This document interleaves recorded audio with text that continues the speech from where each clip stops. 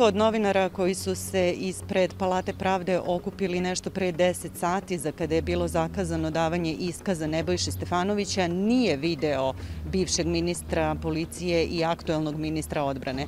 Pretpostavlja se da je u ovu zgradu ušao na neki od sporednih ulaza kroz garažu. Stefanović je novinare izbegao i pri izlasku iz tužilaštva.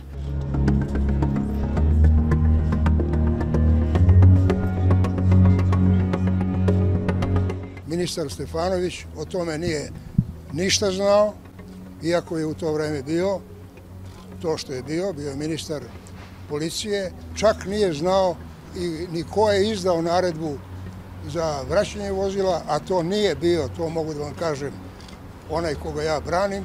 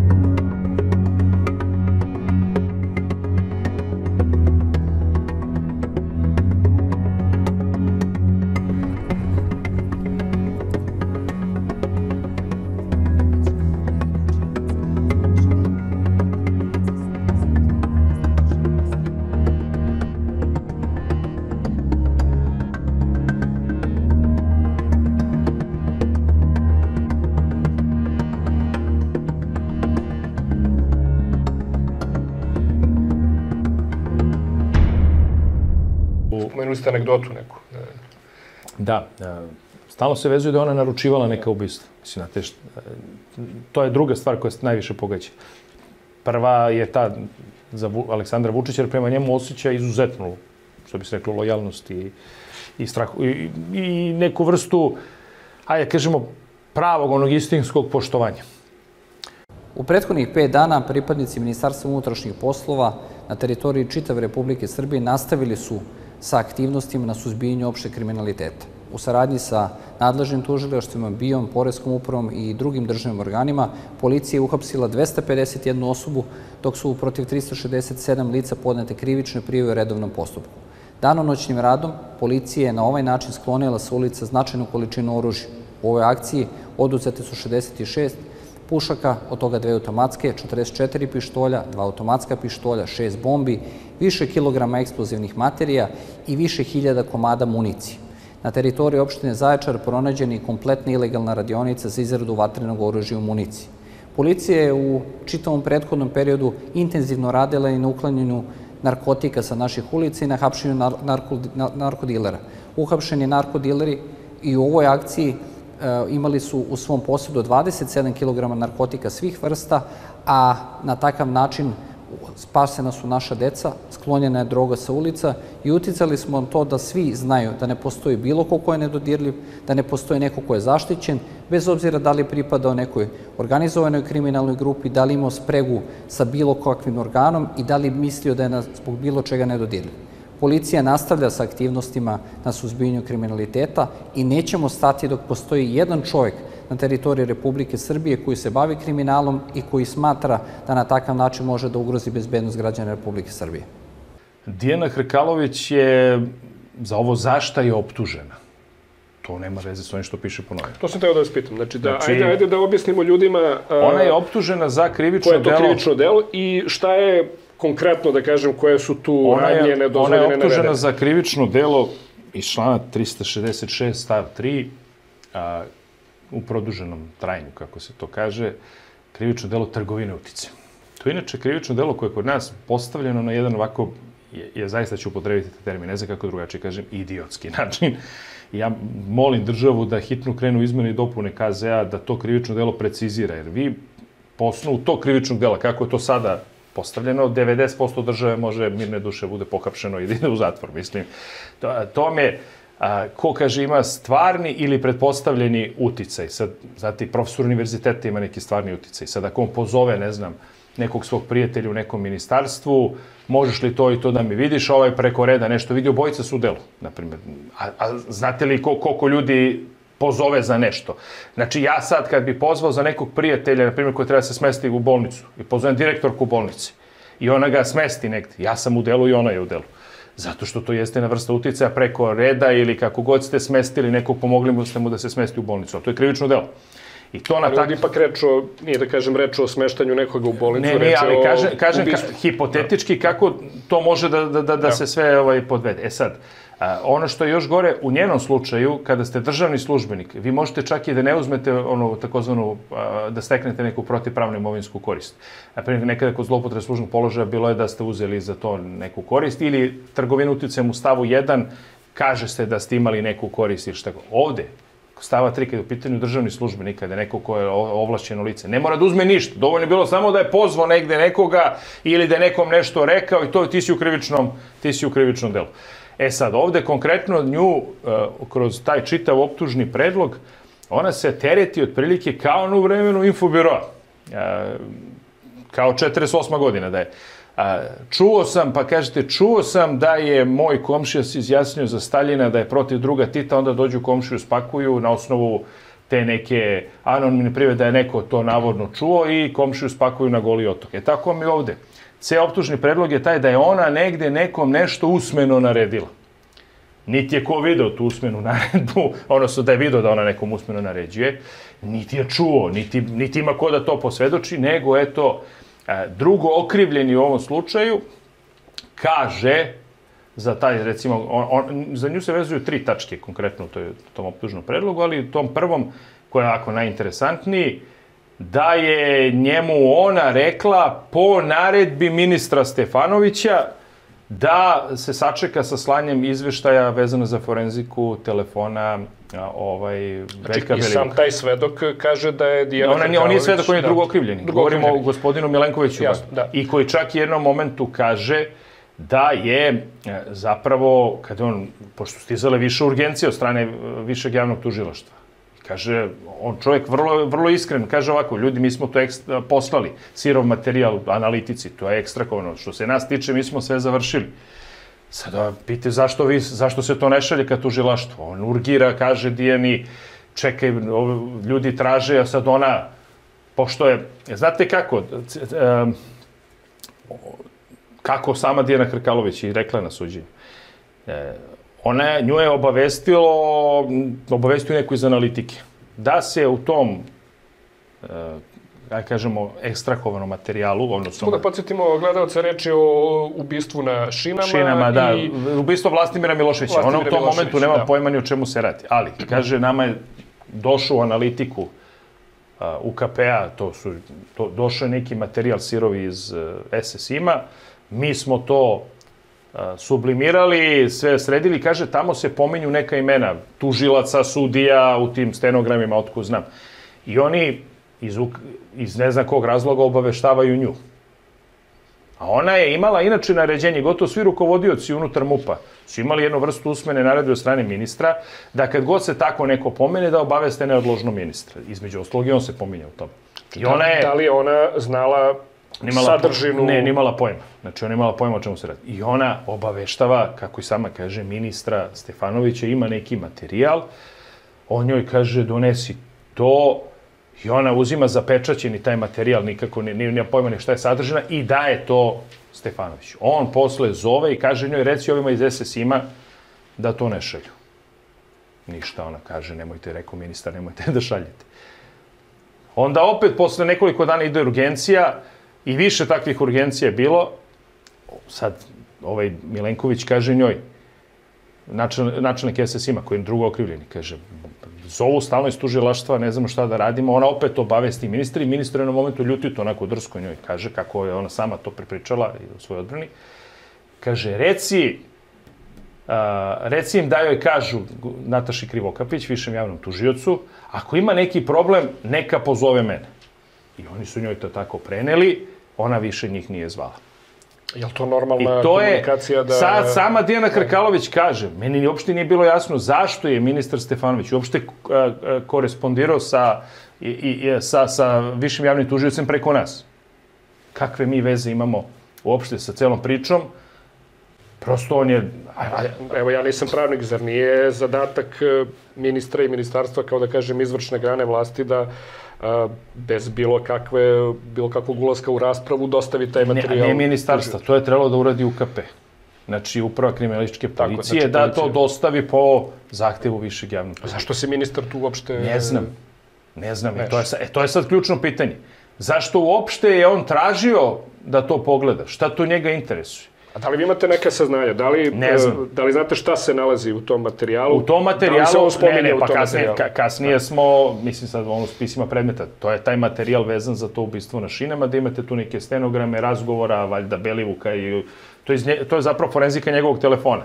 I sad tu ima gde on pominje valjda kako on poznaje ministra Stefanovića, kao, pa onda ovaj neki drugi tamo ko je bio. Belivuk u, ti, u e, svojim razgovorima... Pa da, sad oni tu, on razgovara tamo sa nekim, pa se oni dogovaraju, imamo tamo ministra, ne znam, znaju ovog i onog tužioca, ima tamo sve i svašta, mislim, to su stenogram najobičniji, ali zašto on to tad nije dozvolio da se, ovaj, da se, da bome dostaje tužilaštvo, ja to ne znam. I ko je na kraju kreva on da to ne ja, dozvoli? Ja, ja se izvinjam, ja ne bih rekao da su najobičniji stenogrami ako šef takvog kriminalnog klana kaže da poznaje ministra Pa ja mogu sad da se, ja mogu da se složim, ne, ne da poznaju, nego između ostalog, kako, pa upravo to, ajde da kažemo, imamo tog i tog tamo, ne znam, sudiju ovog i onog znamo, sad da ne pominjem imena, ne bih želeo, jer to je prosto stenogram, a, i, i, ne, i ne želim da ulazim u to, niti, bi, niti je to ovako lepo da, da iznosim, ali, ali ovaj, kažem vam, tu se pominju, sama je ona naglasila, Dijana Krkalović, da se tu pominju neki,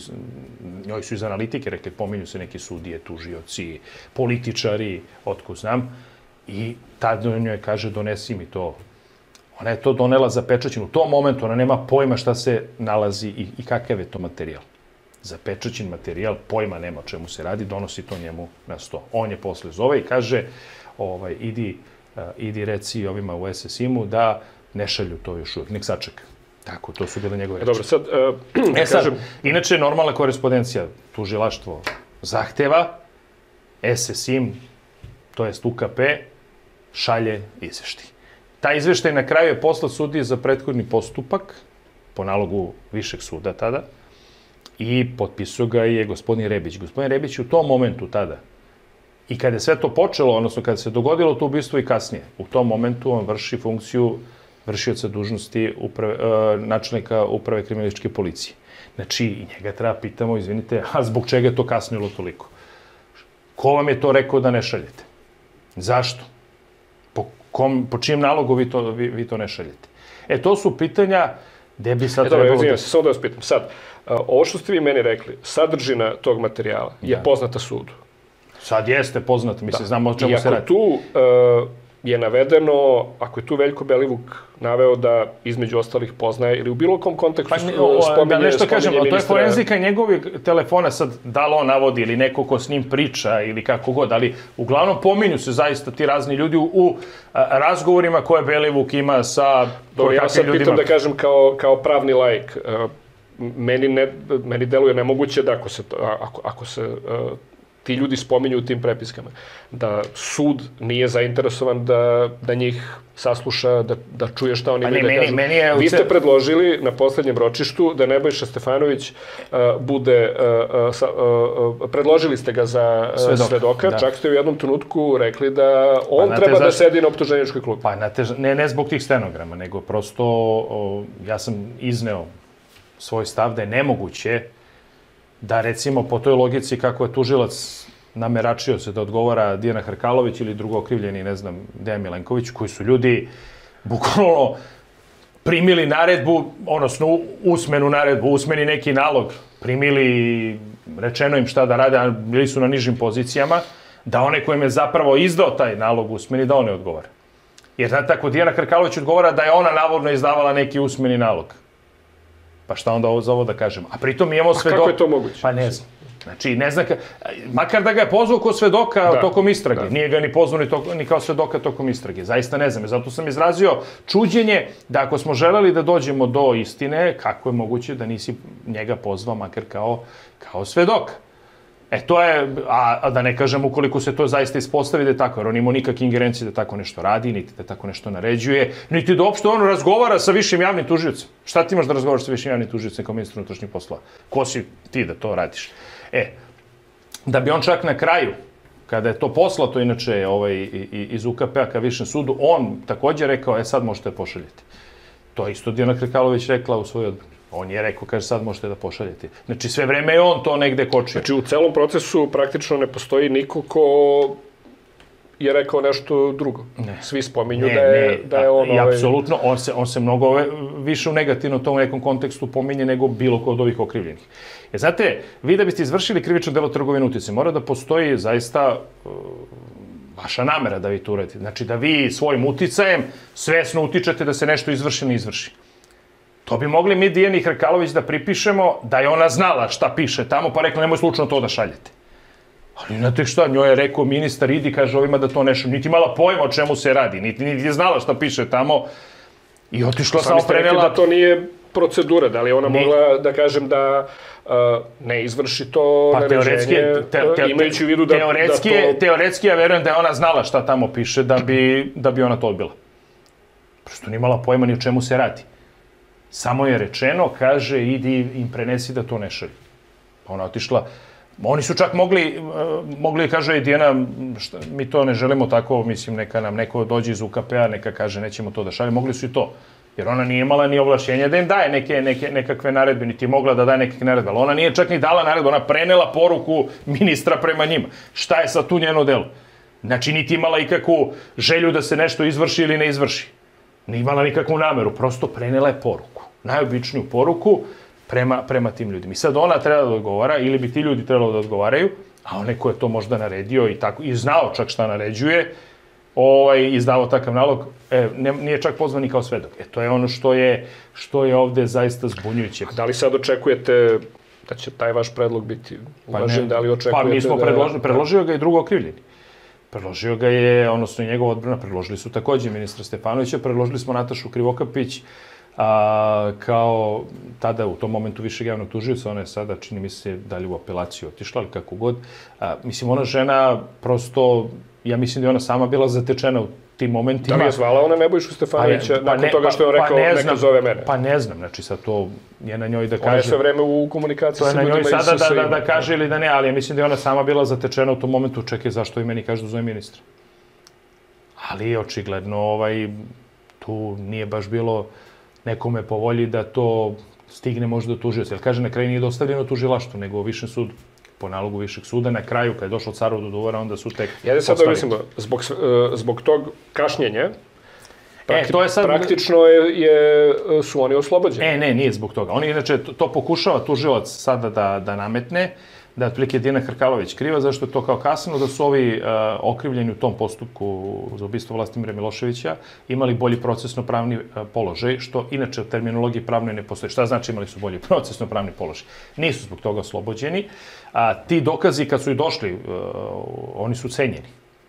I nije ih sud prihvatio kao takve, i prosto... Znači, nisu zakasnili? Ne, nisu, ne. Došlo je, oni su cenjeni i u žalbi tužioca Tužilac je predložio te dokaze, međutim bili su odbačeni i oni su oslobođeni. Oni su oslobođeni zbog toga što se DNK nije poklapao, znači nema nikakve veze sa ovom forenzikom telefona, a ovaj tako da i da i da neko hteo da obezbedi bolji procesno pravni položaj, da ne zna šta to znači, jer ako se nešto ceni na sudu ili ili je Ali tu je takođe bila priča da je neko iz MUPA zamenio DNK. E to sad već to to to, to, to već, nije deo to nije deo ovoga, to već nema to to već nema nikakve veze sa sa ovaj, ovim konkretnim slučajem, ali, ali ako je to zaista neko uradio, evo, neka bude, neka bude privet. Nebojša Stefanović kao da je namjerno oboka žmurio na ta ubistva. Da, li je... da ih je na neki način i, ajde da kažemo, indirektno odobravao ili šta god. Ja u to ne mogu da ulazim, ali očigledno nije ništa radio da se to spreči. A morao je sa tog mesta. Razumno? Ne samo on. A šta? To, mislim, dajem objašnjenje. On se okružio državnim sekretarima koji nisu bili dorasli svog posla. Razumete? Ni jedan njegov državni sekretar, Pa neki su koliko još ja tamo. znam, nije bio ni pravnik. A da ne kažemo dobar pravnik, operativac ili tako nešto. Pa neki tako. su još tamo. Kakve su vaša saznanja o saradnji MUPA i BIE u tom periodu dok Nebojša Stefanović rukovodi MUPom? Pa se, mislim da su ona bila, dok je Nebojša Stefanović bio ministar unutrašnjih poslova, da su ona bila strogo službena, razumete?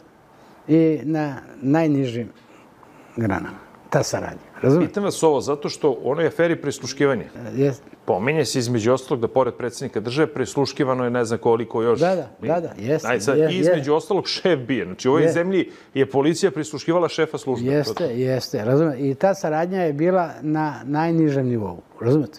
Kad kažem to, mislim na saradnju između Bate Gašića i Nebojša Stefanovića.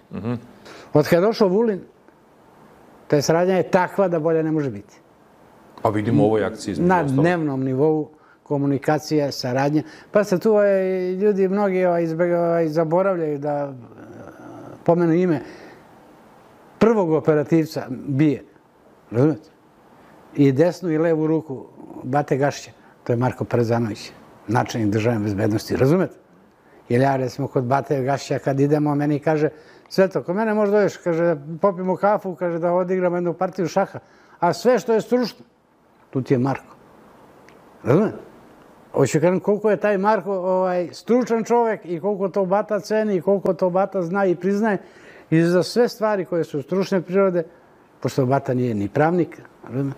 pošto Bata nije ni pravnik, razumete? on kaže tu je Marko. Jer u Marka ima Parezanovića neograničeno poverenje koje taj sva, Marko svaki dan opravdava svojim radom. Razumete? Ja sam pre svega uveren sam da će sve ove korupcionaške stvari biti lakše završene. Ja sam zabrinut zbog nekih drugih stvari koje su se događale i o tome nisam čutao. Nisam čutao ni u policiji, ni u BII kada sam im se obraćao i na sastancima kojima niste prisustvovali, pre 90 i pre stotinu ljudi, kada sam tražio da se rešava sve ono o čemu svi u Srbiji govore, ili tiho govore šapuću, pa smo to, kao što ste videli, rešili. I rešili smo, i rešit ćemo tek mnoga ubistva iz prošlosti, ali ono što me brine, to je da poput onoga što se dešavalo 99. godine, prilikom ubistva Slavka Ćuruvije, kada je bio na merama, punim merama praćenja i nadzora, se dogodilo ubistvo. Jer je neko povukao pred ubistvo ljude koji su tu pratnju činili. Imali ste takvih 15 slučajeva ubistava do 2010. od 2000. gde su nadležni državni organi pratili određena lica, nekada iz kriminogene sredine, nekada koji nisu pripadali tom, toj sredini direktno, ali su pripadali takozvanom bezbednostnom sektoru, kao što se sećate. Pa su ti ljudi ubijani na sred ulice. Znači da je neko iz vrha vlasti, iz vrha, nije to politički vrh vlasti, ne optužujem nikoga na taj način, ali neko iz vrha vlasti, izvršne vlasti je pomagao kriminalcima u lociranju i izvršenju ubistva. Ako ničim drugim, onda svojim nečinjenjem. Zašto sam ovo sve ispričao? Zato što i u poslednjih nekoliko godina imamo najmanje tri slučaja ubistava, dvojice lica direktno iz kriminogene sredine i jednog od lica koje je bilo advokat takvim licima, a sva ta tri lica bila su na merama. I to punim merama. Ali to je sada iz vrha vaše vlasti. Upravo o tome govorim. I kao što vidite, ja o tome otvoreno narodu govorim. Da, ali, ali ne govorite imena. A kada vaši kolegi iz stranke, kada govore o ljudima iz vrha stranke, iz vrha vlasti, imam utisak da oni znaju tačno o kome se radi. Sad mi recite da li se Nije vara. moje da imam utisak. jer Ja imam ne- utisak jer ne znam, ali vi Oni morate da pričali- znate. Ne, ne, oni su pričali o nečemu drugom. Oni su pričali o prisluškivanju, a ne o ovome o čemu ja govorim. Što se tiče ovoga o čemu ja govorim, o tome do sada vam niko nije pričao. Želeo sam da vam dam tu informaciju da ni po tom pitanju neće biti zaštićenih. Jer nije normalno da vi pratite nekog čoveka, a da se pravite da ne vidite da treće vozilo prati to lice. Mislite da će da prođe nekažnjeno? Neće. A sad ćete da vidite da ćete svi da budete pohapšeni, a to tek počinje. Koliko je duboko to ušlo u vlast? Po onome što sad znate. Ja ne mogu da vam to govorim na taj način zato što bih time preuzeo na sebe istragu. Ja vam govorim o veoma pouzdanim saznanjima i o nečemu za što imamo dokaze u ovom trenutku. Dakle, imamo li dokaze da su određena lica praćena? Imamo. Imamo li dokaze da su ta lica ubijena? Imamo. Šta vam treba više? Izvinite, kako to? Samo da znam s kim su povezani u vlasti, eto to pitam. Pa to su vam lica iz izvršne vlasti svakako. To su lica direktno iz Govorite vlasti. o ljudima koji su u policiji, koji su u nekim Sasvim drugim izvesno. službama. Ja sam pitao Sasvim za ljude izvesno. koji su u politici. To je već druga stvar. Ja ne, ne želim da verujem da je neko iz politike u tako nečem učestvovao. Ja za to nemam nikakve pokazatelje. To znači, ako vas pitam vrlo konkretno, da li je Nebojša Stefanović častan ministar i čovjek od vašeg velikog poverenja ili neko ko je povezan sa tim svetom, budući da se takva klima stvarala posljednjih dana, šta ćete reći? U ovakve stvari o kojima sam sada govorio, niti bih pomislio, niti mislim da je on uvezan u to. Da budem sasvim iskren. Imao, imam i zamerio sam mu mnogo toga, kao što pamtim izuzetne stvari koje je uradio i nisam od onih ljudi koji smatra da je bezgrešan pa da drugim ljudima greške ne praštam, a za ovo nisam ni pomislio ni jednog trenutka na Nebojšu Stefanovića, ali na neke druge ljude jesam, koji su veoma visoko pozicionirani. Znači, tu sad govorite o tom brutalnom kriminalu, ne govorite Ako o govorim o korupciji. organizovanom kriminalu, ovde ne govorim pre svega o prisluškivanju i o nekim drugim stvarima, što je bio u svakom slučaju Nebojšin posao da zna. Znači, zamerate Dakle, mu da govorim- nije znao ili mu zamerate njemu da vam nije zameram- rekao? Ja njemu zameram pre svega na objektivnoj odgovornosti. I to sam mu rekao više puta u lici. To nije tajna. Ali niko neće biti zaštićen ukoliko učestvuje u bilo kakvim kriminalnim radnjama. Za ovo nisam pomislio ni jednog sekunda na njega. Znam ja dobro na koga sam mislio i znaju svi oni na koga sam ja mislio. Ali nećete to reći. Ne, i znaju oni ko je uvezan sa tim ljudima i znaju čak i o kojim ubistvima je reč. Vrlo važna jedna afera, a to je, opet se tiče i kolega advokata. Znači, ubistvo Miše Njenovića. Yes. Mislim da je... mm, Je li ima tu nekih pomaka? ima, ima. Prvo, i tu je predsjednik Republike nekako u jednom televizijskom intervju nagovestio da su pojedini ljudi iz MUPA pratili Mišu Ognjanovića. Jeste, i on imao... I, I da su povukli pratnju neposredno pred ubistvom. Jeste, i to je tačno. To je to tačno, to je zaista tačno, tačno. To je tačno, to je tačno. Čekajte, onda, ako je to tako, to znači da je policija vrlo aktivno učestvovala u njegovom ubistvu. Nego šta. Ali imate uopšte, e, da ste Zna negde... se sve i ko je naredio tim ljudima da se A što je povuku. uopšte policija pratila Mišu Ognjanovića? Zašto on bio praćena ličnost? A zašto? Pa imao je bezbednostne probleme i pretnje i tako dalje. Pa čekajte, jesu oni njemu e, pratili ga da bi mu slušali razgovore ili su ga pratili da bi ga zaštitili? I, i, i, jedno i drugo. A što ovo prvo ne, ne bi smeli? Znači, govorimo o, o, o prisluškivanju. Vas policija kada prati ovaj da bi vas zaštitili zbog lične bezbednosti, ona uzgleda i pristuškuje vaše razgovore. da vidi za svaki slučaj koga prati, zašto prati i tako Da, dalje. to je ozbiljno krivično delo. Da je. Ne znam. Ne znam kako tu stoje stvari kod bije, ali dobro, kod bije I nije. to je neko uradio ranije dok je bio na čelu bije. Odradio je tu priču da bi, Da, da. da bi viši sud to sad radio. Sad, recimo, bija ima, čuo sam, vrlo ozbiljne probleme da bi dobila meru. Da, da. Dobro, bija može i bez dozvola suda neke mere da sprovede šta. Dobro, bija može i bez dozvola suda neke mere da sprovede šta. Razumete? Pa sad, znate, niko neće da se kocka, to je krivično delo. Elez progovorio šta je navodno otkrio tužilaštvu nakon sklapanja sporazuma sa tužilaštvom. Elez je odlučio da detaljno opiše nadležnima na kom mestu je zakopan bilinac, a dalji koraci tužilaštva u ovom slučaju se tek očekuju. Takođe, povezan slučaj sa ovim je izjava e, Gorana Papića da je ministar Stefanović tražio da Marka Miljkovića saslušamo brzo i da ga ne zadržavamo. Šta o ovoj temi misli naš sledeći gost, doktor Vojislav Šešelj? Nastavljamo vikend Pa, jutro, mislim- dobro jutro. Dobro jutro. Mislim da je odavno bivši ministar policije Nebojša Stefanović morao da bude uhapšen. Ali šta se čeka? Šta se čeka? Tek kad on progovori, bit će svašta. A on će odmah progovoriti, ubeđeni se. Da, Ovo je baš ozbiljna optužba ovog A Gorana. ozbiljna je kako nije ozbiljna. I verovatno da Tako on je visoki postoji policijski funkcioner. I direktno njemu je naloženo da Miljkovića ekspresno sasluša i pusti. A on nije poslušao. Pa imao posljedice, pa je ovaj vikao valjda na njega. Šta bi Jeste, bilo? kao zašto ga drži pet sati u... Jeste.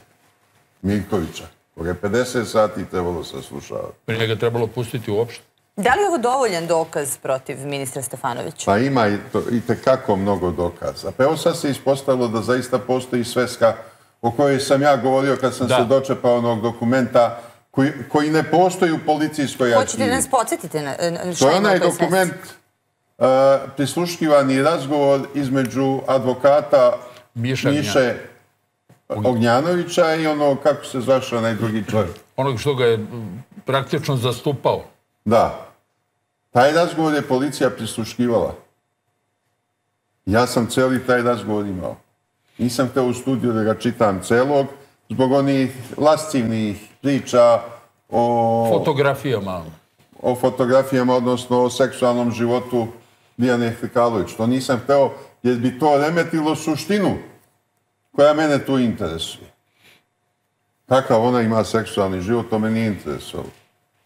Ali ovdje je u pitanju odluka vrha policije koju je doneo Nebojša Stefanovića, provela Dijana Hrkalović da se ovaj prisluškuje. I tada je i angažovan ovaj iz Sarajeva. Elez. S njim se našla Dijana Hrkalović u Novom Sadu i obavljaju za njih poslove. Ko je povezao Hrkalovićku i Elez? A to će Elez valjda da kaže, ja sad ne znam tačno na pamet. Da li vi smatrate da nije Belivuk možda? Ne mogu to sad da nagađam. Ne mogu ništa da nagađam. Možda sam nekada i čuo, ali mnoge od tih stvari mi izvete koje nisu naročito bitne. Ne pamtim sve pojedinosti, jer onda ne bi imalo gde da mi stane u glavu. Iako imam ogromnu glavu. Ali je činjenica da su bili u bliskim odnosima. Bili su, bili u vrlo bliskim odnosima, iako je zaista Eles progovorio, onda će to mnogo značiti za naše istražne organe. Ali neki svedoci koji su se oglašavali kada je u pitanju Elez, a, napomenuli su da su praktično zaštitu od Eleza dobili praktično preko Dijane Hrkalović. Da je ona uticala na Moguće i Eleza da ih i ostavi na miru. Celi kompleks jedan činjenica izaće na video kad sva saslušanja budu završena. Ali rekao sam tada da ovaj Ognjanović ima kompletan dosije o kriminalnim radnjama Nebojše Stefanovića. I nedavno smo saznali da je riječ o jednoj svesci koja je netragom nestala. On je sve pedantno tamo beležio. Sva svoja saznanja. I onoga čemu je bio očevidac i onoga što je čuo od drugih. Ta sveska je sad nestala. Ona se mora pronaći. Pa naći će se. A, druge dve tačke koje se odnose na Dijanu Hrkalović, isto se, jedna, ta, ta se odnosi da je ona a, svojom naredbom nekom, što je naravno netačno. Ta, a, inače, da moram da kažem, u ovom pr, o, za ovaj prvi slučaj, ona je tada u tom momentu bila sekretar UKP-a. Znači, u tom momentu je bila sekretar uprave kriminalističke policije. Druga tačka, ona već postaje državni sekretar i inače bila i načelnik, odnosno kako se zove, koordinator te neke radne grupe koje je UKP napravio vezano za jurine tih klanova, šta li već i suštinski, ona imala neku ingerenciju i da njima nešto i naredi, da ne naredi kako god. Ali, a, a, ta druga tačka se kaže da je ona navodno naredila da se iseku delovi transkripta snimljenog razgovora između pokojnog Miše, Dragoslava Miša Gnjanovića, našeg kolege, advokata i ovog nekog, da li Milo Radović, kako mu je prezime, koji je takođe pokojni a ovaj, što ona nije uradila. A, inače, čak i da je htjela, mogla da naredi, jer e, praksa negde e, UKP-a je i uopšte policije da nebitne stvari za postupak, koje se tiču intimne prirode, ne znam čega, što zaista nije važno za postupak, mogu zaista i da ne pošalju, jer to ne odlučuje se uopšte o tom postupku. Uglavnom, oni su u tom nekom svom snimljenom razgovoru govorili o njenim intimnim stvarima. A, I oni su, do, da parafraziram kako je to bilo, a, oni su pričali kako je njima neka treća osoba pokazivala neke njene slike gde ona ajde ono, to posle je bilo i po novinama, zaista obnažena, otko zna kako i njoj je to bilo svakako neprijatno, ali nije nikom ona naredila da se to iseče i Uh, mi čak i ne znamo u, u kakvom je to obliku došlo do tužilaštva, koliko smo čuli sadašnji postupajući tužilac u ovom postupku je bio u potpunosti obavešten o tom čitavom postupku i koliko mi imamo informaciju da je on dobio u celosti ceo taj snimak razgovora. Tako da praktično do tužilaštva je koliko mi imamo informaciju došao ceo snimak, ništa nije sečeno. A, a, zašto su oni, evo ajde da kažem sad već dva pokojnika koji su da kažem pokojni iz, jer su pripadali određenim Pa do kolega Vnjanović je bio advokat. Jeste, bio je, bio je uh, advokat, naravno, opasan posao radio i tako dalje. Ovaj drugi pretpostavljam da nije bio advokat. Nije bio. Ovaj, zašto bi Zašto bi njih dvojica uopšte razgovarali o nekim, e, pa o, o bilo kakvim fotografijama Dijana Hrkalović? E, pa to ne znam. A zanimljiva je ta osoba treća koja mi pokazivala. Ona nije tela da kaže, rekla, parafraziram, osoba A i osoba B pričaju kako mi je osoba C pokazivala te moje fotografije, tako je ta osoba C vrlo zanimljiva što je to radila, ali ajde sad. Jel osoba C živ, pa ne, živa? Ka, ne, ona jeste, nije sporno i tako. Na jednoj je vrlo zanimljivoj poziciji, ali nije ni važno. Uglavnom, u svakom slučaju da ja sad ne ulazim, ne, ne ulazim u, u, u, to, ali ona nije tako nešto nikada naredila. I opet i tu se uh, ide da je ona, kaže, usmeno naredila. Niti je to ko vidio, niti je to ko čuo, niti je, niti je to moguće tako uraditi.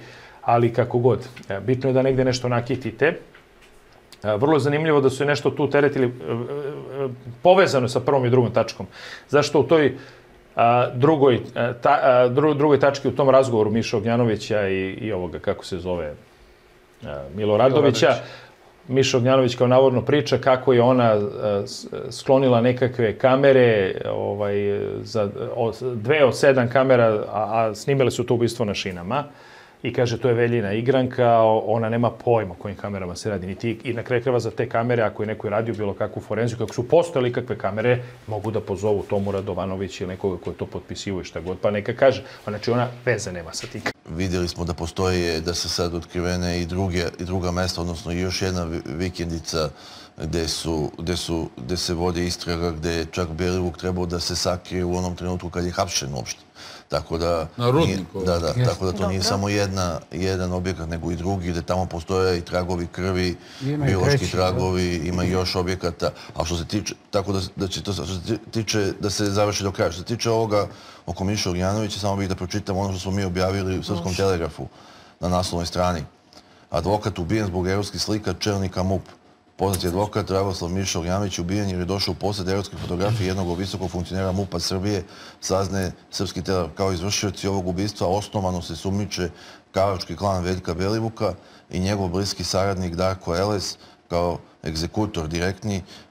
I onda smo pisali o tome kako se uopšte pratio Miša Ognjanović koji je bio razlog za njegovo praćenje, s kim je razgovarao, eh, da postoji taj jedan telefonski razgovor njegov gde on govori o toj, o, toj osobi, da postoje kompromitujuće fotografije i tako dalje, da će da pokaže te fotografije i različite druge stvari i nakon toga je ubrzo nakon toga je ubijen. E, sumnja u to da su umešani neki ljudi sa značkom u cijelu ovu priču je prosto što se advokat ni u jednoj zemlji ne ubije tek tako advokata da bi neko ubio sudiju, novinara.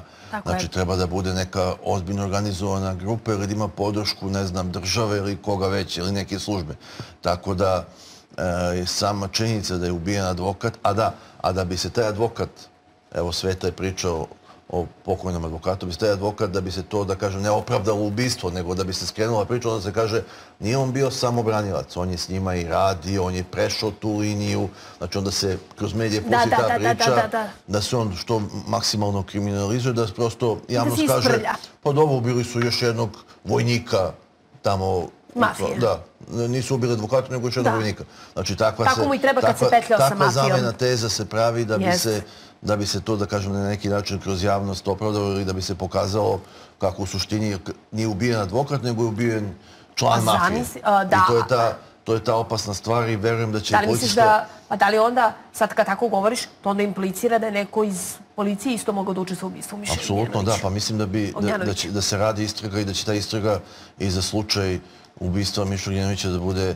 sprovedena do kraja i da će se oni koji su za to odgovorni isto, isto i, i oni koji su naručioci će isto biti procesuirani, jer prosto je nedopustivo da to tako ostane kao ubijanje advokat i nikom ništa. Tačno. Znate, Ajde da se vratimo... strašno je. Ajde, pa da nam ovaj, se vratimo na ispovest. Da ne bude nedomice, ja sam potpuno siguran, ovaj, potpuno sam siguran, ovaj, ako se u ovom momentu još uvek 100% ne zna ko je naručilac ubistva Miša Ognjanovića, razumete? Pukog izvršioca ovaj, policija zna, Ali naručioca? A naručioca ko je to naručio pri kraju je, ali vidjet ćete, ovaj, 100% će se utvrditi istina u vezi ubistva ovaj, Miša Ognjanovića. Zora Dobričanin kad je gostovala, ona je uvek govorila da bi volila da se sazna. I- Ali da kako i je urađena i- istraga... Policijska istraga je besprekorno urađena, mogu da vam kažem. Razumete? Ne u vezi Miša Ogranića, nego u vezi svega. I policijska istraga u vezi svih ovih događaja i u vezi ova, ova četiri ovaj, A to su sve povezane stvari, sve to to pojedine stvari. Sve je to kod tužilaca. I sada je policija tu napirana zbog tajnosti istrage.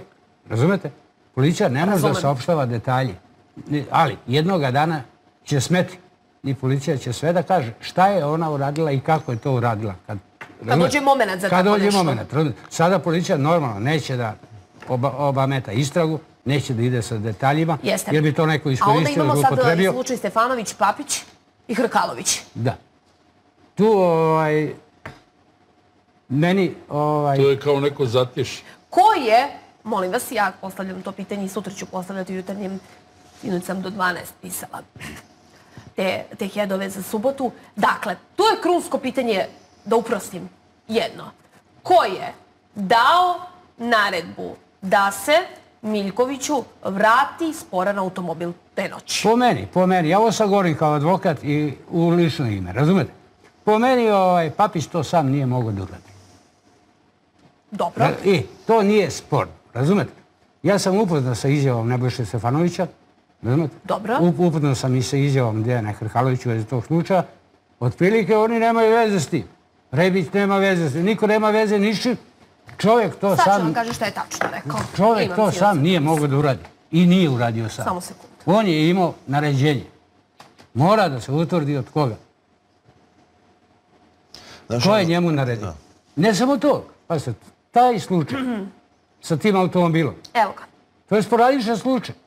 Kaže Head upravo za sutra. Zna, za sutra. Znači, um, zašto se...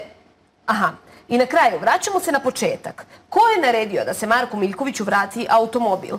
Papić tvrdi da nije učestvovao u tome, Stefanović da nije imao veze sa grupom koja je predmet postupka, kao ni sa postupanjem policije u vreme vraćanja vozila, a Munižaba, dakle, rukovodilac Beogradske policije, da to nije mogao da učini bez naređenja nadređenih.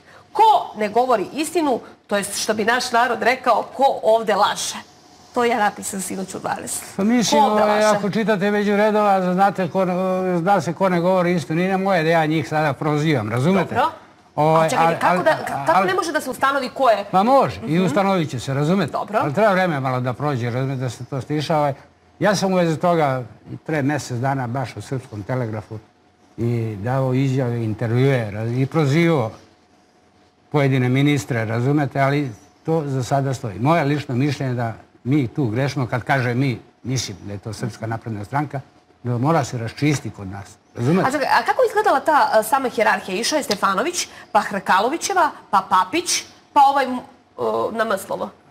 Munižaba. Munižaba. Jel to tako išla hijerarhija? Preskoče Šebića. A, pardon, da, preskočila sam Rebića. A gdje je Rebić u toj hijerarhiji? Ja bih rekao ovaj, da je, uh, on, on je tu drugi čovjek u hirarhiji. Dobro. Ovaj, praktično je bila Dijana Hrkalović, ovaj, drugi čovjek u MUP. Čekaj, znači Hrkalovićeva je bila šef i Papiću i Rebiću. Kao državni sekretar, da. Dobro. Formalno pravno, razumete? Dobro. Ali ja, vidite, Rebića, ja sam Rebića ovaj, slušao u dva, tri intervjua i na nekim drugim televizijama. On to je otprilike čovjek ništa ne zna i on je sam rekao. Kaže, sad će gledalci reći, kaže, kakav je direktor policije kad ništa ne zna. Zna on mnogo stvari, ali neće, neće, da, neće da kaže da zna, razumete? I mislim sad je upadljivo, ovaj, upadljivo je da je Rebić, ajde da tako kažem, skrajnut malo iz javnosti. Ne znam kad ste ga vi posljednji put vidjeli ili čuli da nešto kaže. Pa nismo nikoga od ovih pomenutih ni čuli, Pa ni videli. Nebojša Stefanović tu i tamo se javlja. Pa obraćam pažnju na njega ozbiljno. Hrkalović je u dubokoj ilegali, ona se ne javlja, ne daje izjave. kriminalu. Ja sam potpuno ubeđen da su zapadne obaveštene službe našle logističare u, u ovoj grupi organizovanog kriminala. Ali sve ovo o čemu mi pričamo danas, e, bitan je onaj najgori i najstrašniji preduslov, a to su oni logističari iz državnih struktura koji su omogućili pojedincima da postanu potpuno beskrupulozni, da više izgube svaki razum. I to je ono na čemu država Srbija mora da poradi, mora da pronađe nesalomive ljude koji će jednom zauvek da saseku krila toj hobotnici i onim logističarima koji su omogućili da e, da mafija izraste maltene u, u, drž, u ne maltene, nego sigurno u državni problem broj 1. Jeste, ali onda dolazimo i do onih koji su na visokim funkcijama u SNS-u koji će takođe morati da budu um, bilo smenjeni, bilo sklonjeni sa funkcija koje Znači, vrše. to podrazumeva i su državne funkcije i bili političke funkcije, apsolutno. Naravno, tu ne sme da bude milosti i to mora da se radi po dubini. I upravo ovo što je e, Vučko rekao, spomenuo za Crnu Goru.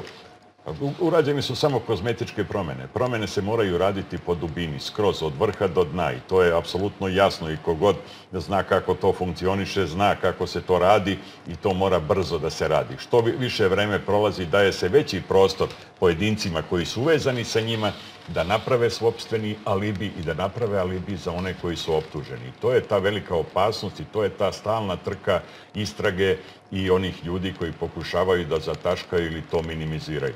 Ali evo kad Nema, spomenete- nema šanse, izvinite, Guto. Nema šanse nikakve da, da se bilo šta ovde zataška. Prosto te- to je sve i kad bi neko to hteo, poludeo pa hteo, to je nemoguće. Nemoguće je vi da zataškate veze nekoga iz vrha države, a bilo je takvih veza iz vrha policija, bilo je takvih veza sa ovakvim monstruoznim mafijaškim klanom. Naravno će oni svi odgovarati. E, ja znam, prema ja, stepenu ja, znam i zašto se neki ljudi još ne hapse, zato što uh, se prikupljaju najčvršći mogući dokazi. Da ne bi bilo posle, uh, uh, dakle, uklapaju se i svi ti dokazi, svi ti ljudi koji su osumnjičeni, neki su od njih bili i saslušavani, neke smo vesti mi objavljivali, neki su privođeni, neke nismo objavili, ovaj, da su saslušani. Svi će oni, e, dakle, svi su oni pod nadzorom. Ne mogu oni sad, recimo, neko mi, neko mi je skoro pitao, a šta ćemo ako ta i ta ili ta i ta pobegne? Pa ne mogu da pobegnu. Ovo je ozbiljna država i ozbiljna policija. Ako bi neko od njih probao, pokušao da pobegne, bio bi vraćen. Naravno da, da, da ti ljudi koji su sarađivali sa ovim mafijašima će odgovarati.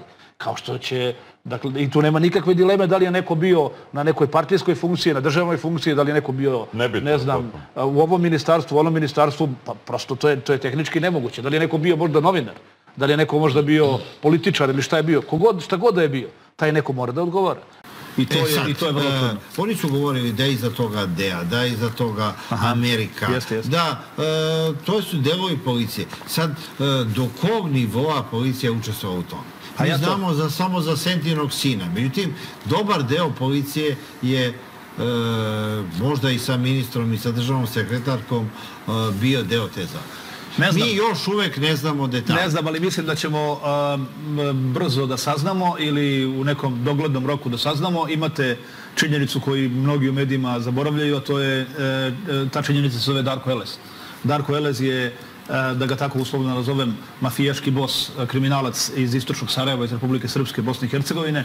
Njega je- sumnjiče za jedno 40 ubistava u regionu. On se nagodio sa tužilaštvom u Bosni i Hercegovini e, pre 15-20 dana i e, dobio je 15 godina zatvora, a zauzvrat e, i se obavezao da otkrije sve što zna o najtežim krivičnim delima. Između ostalog, on, će, on je dužan da sarađuje i sa, tako je definisano u sporazumu, i sa a, Ministarstvom unutrašnjih poslova Republike Srbije. On će i našim nadležnim tužilačkim vraćeno mu je državljanstvo, organima, tako je. da možda ide u Beograd. Da, da, i, i da mu nije vraćeno mogao bi da ide, to je međunarodna pravna pomoć. Dakle, e, on će ovde svedočiti i otkriće, siguran sam, mnogo toga zanimljivog o uhapšenoj ministarki, o ministarki, da. lapsus, ali istina, uhopšena je državnoj sekretarki Hrkalović. E sad, kad je ona to prostela, njoj je pozivo, uh, dobila je koronu i završila je u zatvorskoj bolnici. pažljivo Mare čita informer, da. Sve. Pa ne zna se da li je dobila koronu, ali uglavnom bila je u zatvorskoj bolnici. Jeste. I e, onda je ona e, pobesnila, kaže zašto e, Darko Elez e, da bude svedok saradnik, zašto on da otkriva sve, on je ubio 40 ljudi, ja sam naručila samo tri ubistva, a i bolje ja da bude svedok saradnik, ona se ponudila. I mi, smo Kakve- dobili, I mi smo dobili takve informacije kao i ti Mariću. Ona Ti vidiš da je informacije idu prema da, nama. Ona je htela da, zapravo je tražila kontakt sa tužiocima sa idejom da, Da da ponudi, iskaz. Da, sa idejom da da iskaz ili da ponudi neko, neko, neki sporazum, ne znam. Da, ali, Objavljeni su ali neki pazite, novina njeni iskazi zakon, gde se ona klela u vernost Da. e, Vučiću, režimu, da nije ništa uradila. Mariću, Mariću, da bi ona dobila status, to šta je ona uradila, to ćemo tek da vidimo. Ja nešto sam, nešto znam, nešto sam objavio u novinama, nešto ne mogu da pričam jer još do kraja nije provereno. Ali su to strašne stvari. A šta sam teo da vam kažem? Da bi Dijana dobila da bi gospođa Krkalović dobila status svedoka saradnika, ona prema zakonu prvo ne sme da bude šefit, šef ili šefica organizovane Ona kriminalne grupe. imala da je bude- ministra iznad sebe. ja ne znam, ministar ili neko drugi, ona bi morala da ukaže na a, a, to ko je, da je, da je ona bila, izvršavala nečije naloge. Ako može to da Kao kaže... šef kriminalne grupe nije- ne može. Ali, ali nije dovoljno samo da kaže. Ona to mora da dokaže. Ako ona to može da dokaže, ona onda i može da dobije status svedoka saradnika i siguran sam da kada bi ona progovorila, mnoge stvari bi bila još jasnije. E sad ljudi sam isto tako da bi uveren- se srušila Srbija. ali sam bi isto tako uveren, isto sam tako uveren da kad progovori, a progovorit će pitanje je meseca, Darko Eles, da će mnoge, mnoge stvari biti jasnije i u Srbiji i u regionu. Dakle, ovde se definitivno, i to ne samo u Srbiji, nego i oko Srbije svuda, sa glavnim ciljem vlast u Srbiji i predsjednik Vučić, da se mi ne lažemo, pravila se mafijaško-kriminalna hobotnica, mafijaško-kriminalno-tajkunska povlaka strani centri moći hobotnica svuda u regionu sa jednim jedinim ciljem, da se sruši Srbija. Jer Srbija smeta, Mariću. Srbija smeta zato što je politički nikad jača, Ali ekonomski nikad jača, na međunarodnoj političkoj sceni. kriminalizovanog Vučića treba srušiti kao mafijaš. Eto, to je ideja. Jeste, samo što im nikako ne polazi za rukom, jer Vučiću ne mogu da nađu ništa. Pa sad u toj logici koju e, vi iznosite, otprilike e, Nebojša Stefanović kao da je namjerno Nobo kažmurio na ta ubistva. Da li je- Da ih je na neki način i, ajde kažemo, indirektno odobravao ili šta god. Ja u to ne mogu da ulazim, ali očigledno nije ništa radio da se to spreči. A morao je sa tog mesta. Ne samo on. A šta? To, mislim, dajem objašnjenje. On se okružio državnim sekretarima koji nisu bili dorasli svog posla. Razumete? Ni jedan njegov državni sekretar.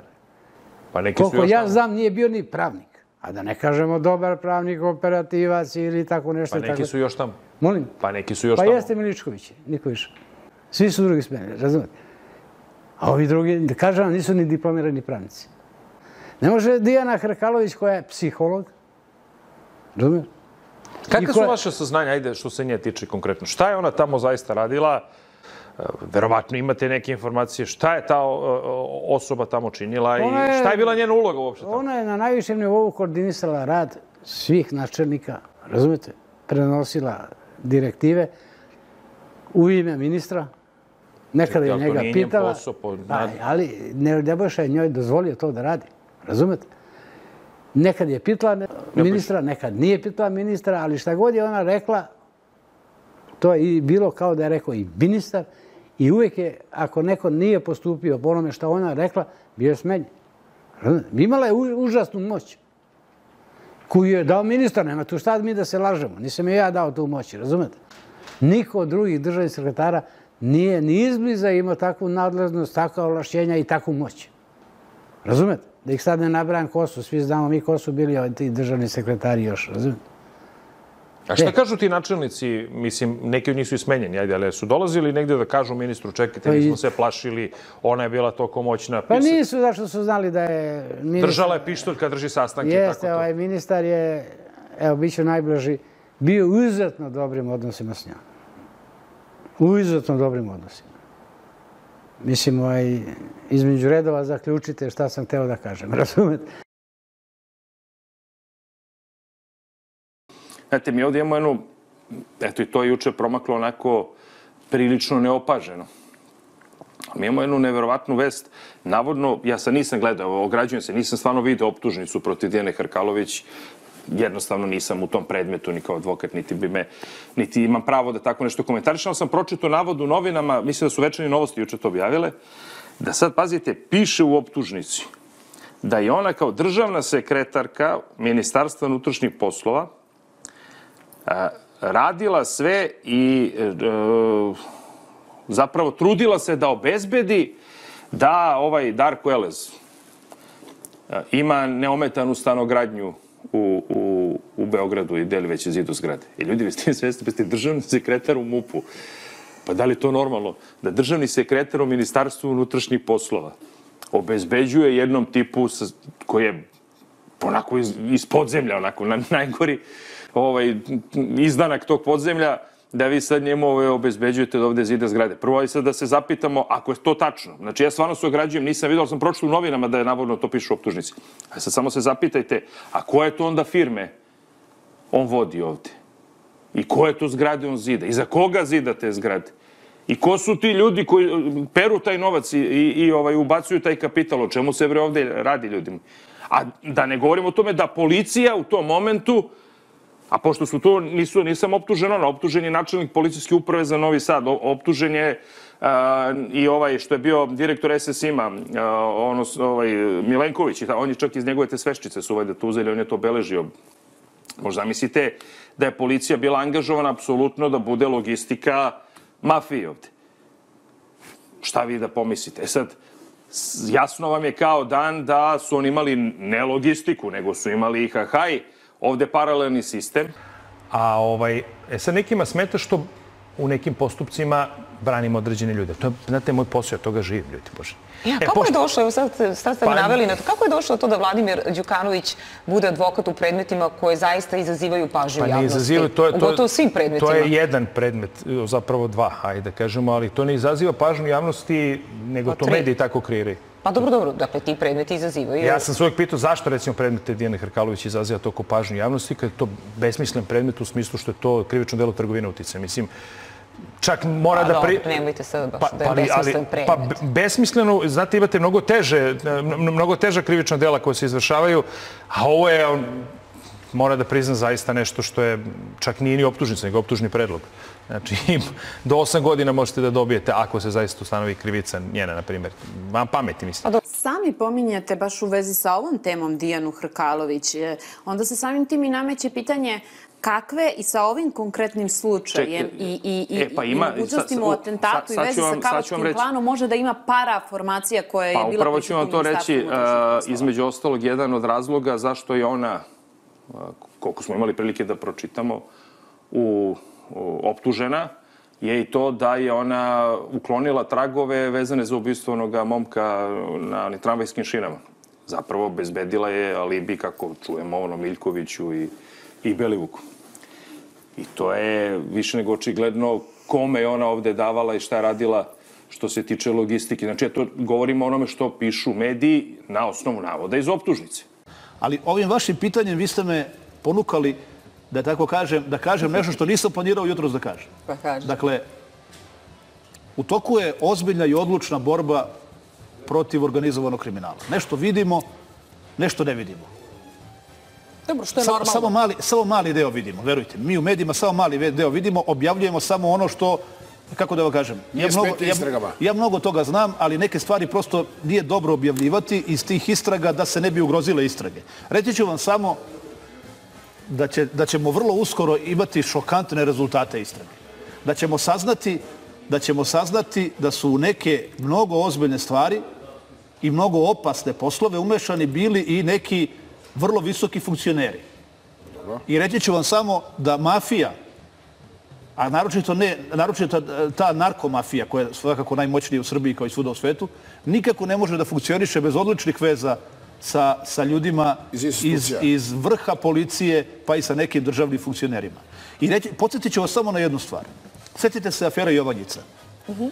To je naravno bila, bio pokušaj a, a, specijalnog rata pokušaj operacije specijalnog rata, gde je odmah po otkrivanju plantaže marihuane u, u gde je to u Banovcima, negde Pazovi, ako sam dobro upamtio, dakle, kod, kod, kod onoga Koluvije koji je uhapšen, odmah je rečeno kako je on u, u vezama sa Andrejem Vučićem i kako mu je Andrej Vučić pomagao, štitio ga i kako je on odmah po Miroslav Aleksić Đilasov je to rekao, odmah po hapšenju je zvao Andreja i tražio od njega pomoć. Ispostavilo se da je to laž.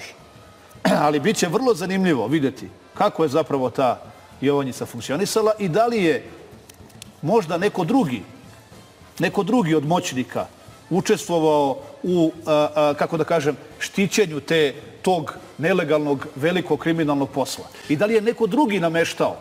Biće to vrlo zanimljivo da vidimo e, i da saznamo u narednom periodu i mislim da će to biti oko nove godine ili iza nove godine, da saznamo, svakako pre Srpske nove godine, da saznamo ko je zapravo stajao iza svega toga, ne, u smislu, ne samo u smislu e, zaštite tog kriminalnog posla, nego i u smislu nameštanja najstrašnijih optužbi na račun predsjednika Vučića, njegovog brata, njegove porodice. Videćete strašna otkrića. Neki su u ovoj zemlji imali mnogo opasne planove i tek imaju opasne planove. Ne znam da li će predsjednik danas da govori i da možda će da se naljuti što ja ovo pričam, ali dobro, ovaj, ne znam da li će da govori na ovoj e, svojoj današnjem obraćanju konferenciji za štampu o tome, ali govorio, ne govorio, očekujte, ta, ta istraga je otišla prilično daleko, očekujte šokantna otkrića i očekujte vrlo konkretne rezultate u borbi protiv kriminala i mafije. Jedno I čekamo, ovi, ali ovi ljudi što sad pričaju kako u Srbiji nikad jače kriminal, nikad veći kriminal, pogledaj ljudi, pa ajte,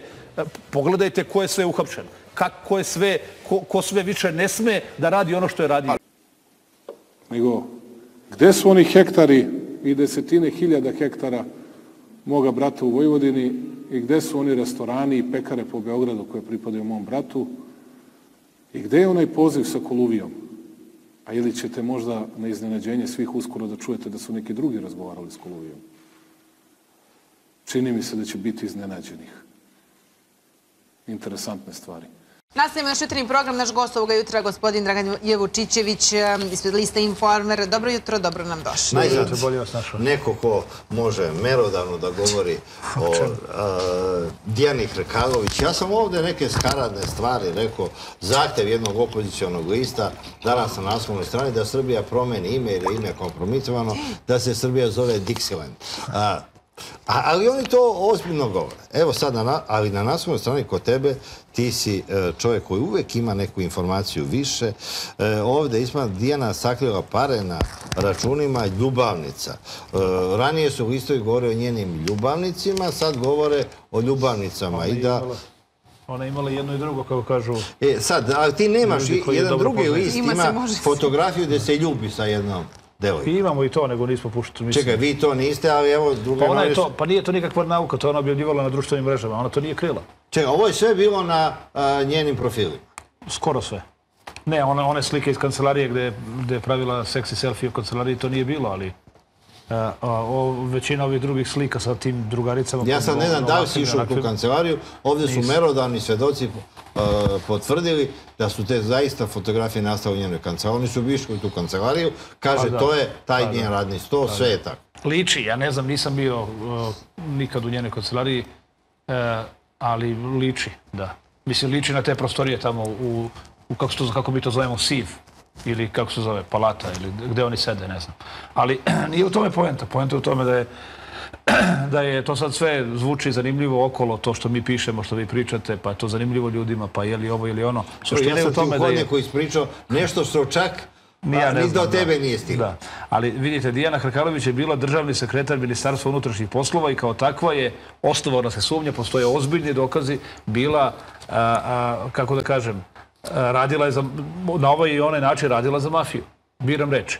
Dakle, i to je stvar koja je mnogo ozbiljna i koja mora najozbiljnije moguće se istraži. To uopšte nije šala, nije pošalica. Ali treba dakle, istražiti, imate e, drugu ženu policije, drugog čoveka policije koja je na vezi sa, kažu svi podaci, klanom Miljković-Belivuk, sa njima najtesnije, najtešnje moguće zarađuje, sarađuje prema dostupnim podacima i sa a, ovim crnogorskim kavačkim klanom, umešana je, opet kažu, ozbiljne policijske informacije iz istrage u neke, direktno u neke likvidacije. Dakle, to su stvari koje moraju da se račiste. A to da li ona imala devojku, da li je imala dečka, da li je bila... To je sve lepo, to nisu krivična pa to to je njena privatna stvar i to nema ni- ništa sporno. Mi danas pišemo o tome, e, dakle, policija e, pokušava da uđe u trag njenim parama.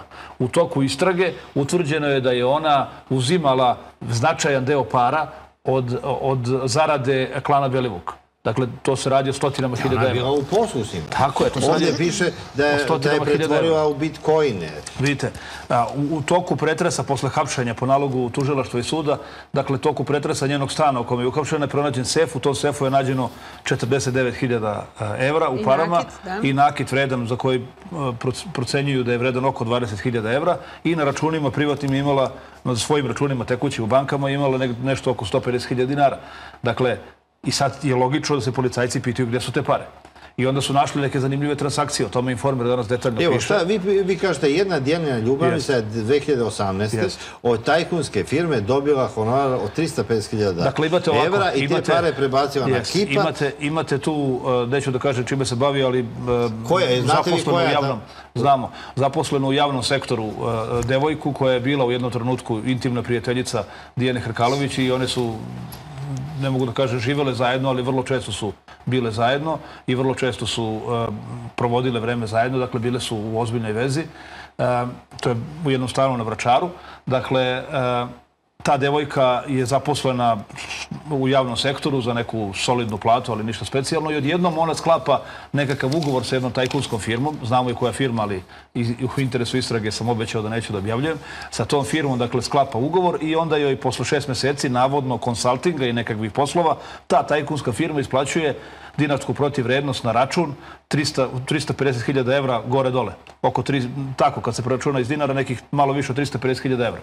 I ona, ta devojka, plaća na to sve poreze, koji su potrebni, jel tako, podiže te pare i preko jedne druge banke ih prebacuje na Kipar. Sumnje se da su tako oprane, da- su na taj način oprane a, da je, da, krvave mafijaške pare i postoji još nekoliko sumnjivih transakcija osoba koji su također povezani sa Hrkalovićevom i to je predmet istrage. Kao što, su pred, kao što se osnovano sumnja, o tome smo još proletos pričali, da je veliki deo para koje je ona stekla tim kriminalnim aktivnostima zapravo završio bitcoinima. A bitcoin je, bitcoine, to je kriptovaluta, da vas podsjetim, je naveliko kupovao Veljko Belivuk, Velja Nevolja, zlogasni, ovaj koljač iz, iz Ritopeka. Dakle, on je, opet je to istraga policijska utvrdila, a, a, gotovo sve pare koje, su, koje je zarađivao od kriminala, od tih monstruoznih ubistava, dilovanja droge i čega, pretvara u bitcoin.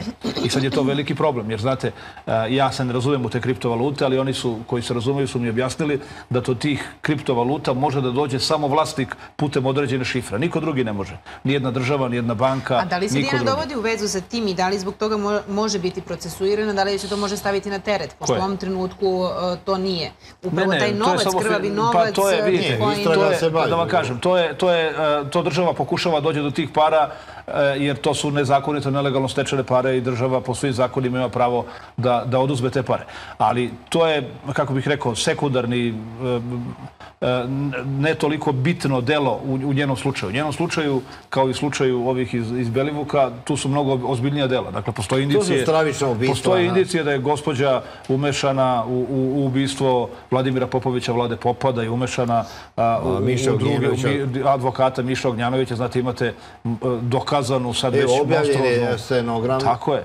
Dakle, to- vi vidite, pa to ništa ne Ne dokazuje, dokazuje. ali je vrlo indikativno. Znate, njih dvojica sede u kafiću, e, ako se dobro sećam, maja, d- ne maja, nego negde a, početak maja 2018. ili april 2018. i Dva razgovaraju o Dijani Hrkalović.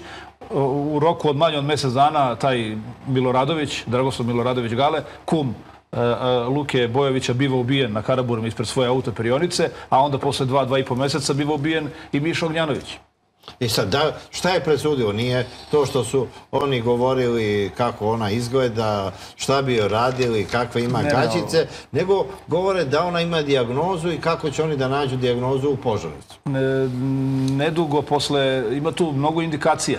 To, to policajci treba da raščiste do kraja i tužilaštvo treba da prikupi sve dokaze da bi ona bila izvanično optužena za to, ali znate, posle uh, ubistva vlade Popa, ona je po dostupnim informacijama otišla u, u Izrael i tamo bila 45 dana i E, krila se od je- nečega. A onda e, se vratila u Srbiju. Sve vreme je bila državni sekretar. Dakle, nije Kad je ona dala bila u. Izraelu, da li je ona je. bila uh, smenjena? Prema, mojim, prema našim informacijama zvanično nije bilo smenjena. Da li je bilo ne, nezvanično, neformalno, to treba da odgovori Je ona neko po iz tim sadašnjeg ministarstva raznim unutrašnjih poslova. Kad se vratila, promenila ime u Nikarina, ali dobro. To su već, to su sve bizarnosti koje pokazuju kako je to koloritna ličnost, da ne upotrebi neku drugu izraz, neki drugi izraz. Suština je u tome da je ta gospođa, prema svim dostupnim informacijama, bila direktno uvezana sa koljačkim klanom Belivuka i, i e, Miljkovića. Suština je u tome da je ona bila uvezana na one njihove Sky telefone. To je takođe gotovo, koliko ja znam, u istrazi a, ut- a, nepobitno utvrđeno. Dakle, ako je bila uvezana na te Sky telefone, to nam govori da je znala za sva ona monstruozna ubistva, či- koje sad snimke smo neke videli, a verujte mi ima toga Ali evo, mnogo, videli mnogo smo gorih stvari. da je za znači- ta ubistva znao i ministar Stefanović i da To je inspektoru rekao da ne preduzima ništa, da ne ide u Ritopek, e, I da, to je predmet- i to je da predmet se istrage, to da. prepusti novom ministru, on odlazi. Da budemo na- pošteni, da budemo pošteni. Da li je to dakle, istina? Da budemo pošteni. E, Ne znam da li je istina, ali da budemo pošteni. Inspektor Biločić, čini mi se, kod, kod e, gospodina Đukanovića je rekao da je on predložio upad u Ritopek, a da mu je Stefanović rekao da tamo ne ide, da je uskoro sledi promjena u Ministarstvu unutrašnjih poslova, da je on umoran, od svega- umoran čovek i da ne može tim da se bavi, nek sačeka sledećeg ministra za mjesec dana. To je ono što sam pročitao, ja ne znam šta je istina, zaista a, nema dokaza, ja, ja ih bar ne znam i, i nema dokaza da je da je a, bivši ministar znao za sve to, država treba da utvrdi, ne znam da li je moguće da imate državnog sekretara a, koji je umešan u sve to, a da ministar ništa ne zna, teoretski jeste moguće, da li je tako zaista bilo, vidjet ćemo. E sad, ne znamo ja sam ko je kome posle bio šef. Samo da vam Ona kažem. Stefanović ili Stefanović Samo, njom? samo da vam kažem. nije, da. Samo da vam kažem. Pa ko zna? Ko to zna? Možda je bio, ko, ko zna ko je bio. Dakle, očigledno je neko iz vrha države radio o glavi predsjedniku države.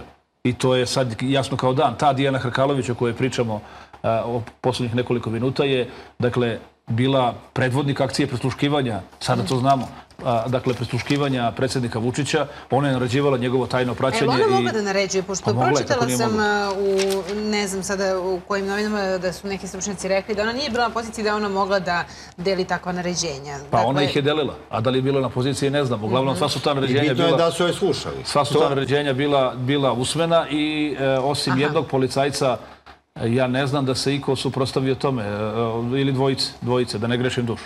Imate primjer Dejana Jovića, e, a, ja sam ga malo poznavao, inspektora Beogradske policije, kriminalističke policije, koji je bukvalno život mu uništen, na kraju i umro od tog proganjanja, jer je insistirao na utvrđivanju istine o zločinima Belivuk Miljković. E, čekaj, on je uhapsio i Miljkovića i Beluka. Tako je, on je uhapsio posle ubistva na šinama. ubistvo na šinama. I, i ona je sve učinila da se ti dokazi je, DNK sklone.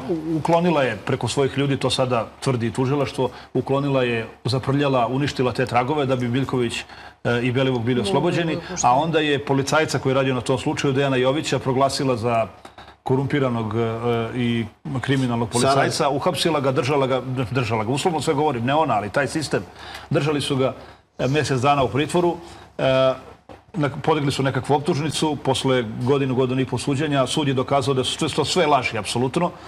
Jović dobio rešenje da, da bude vraćen na svoje staro radno mesto.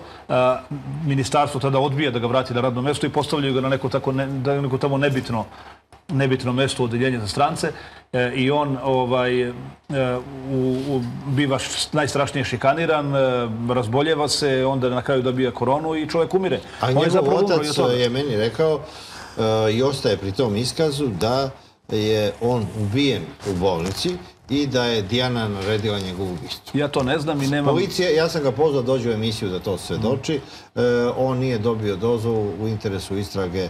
Tome proverava se da. to što je on rekao. Ja to, Ali ja to ne znam, Ali. Vučko, ti znaš. Ja to ne znam, istraga to treba da utvrdi, e, treba imati razumevanje za oca, ipak je svaki, svaki roditelj koji ostane bez deteta... I bio je svedok šta, šta je sve doživao njegov sin. Jeste. Ali e, ne ti, ali neki drugi e, tabloidi koji sada govore i rehabilituju i e, Milačića i Jovića.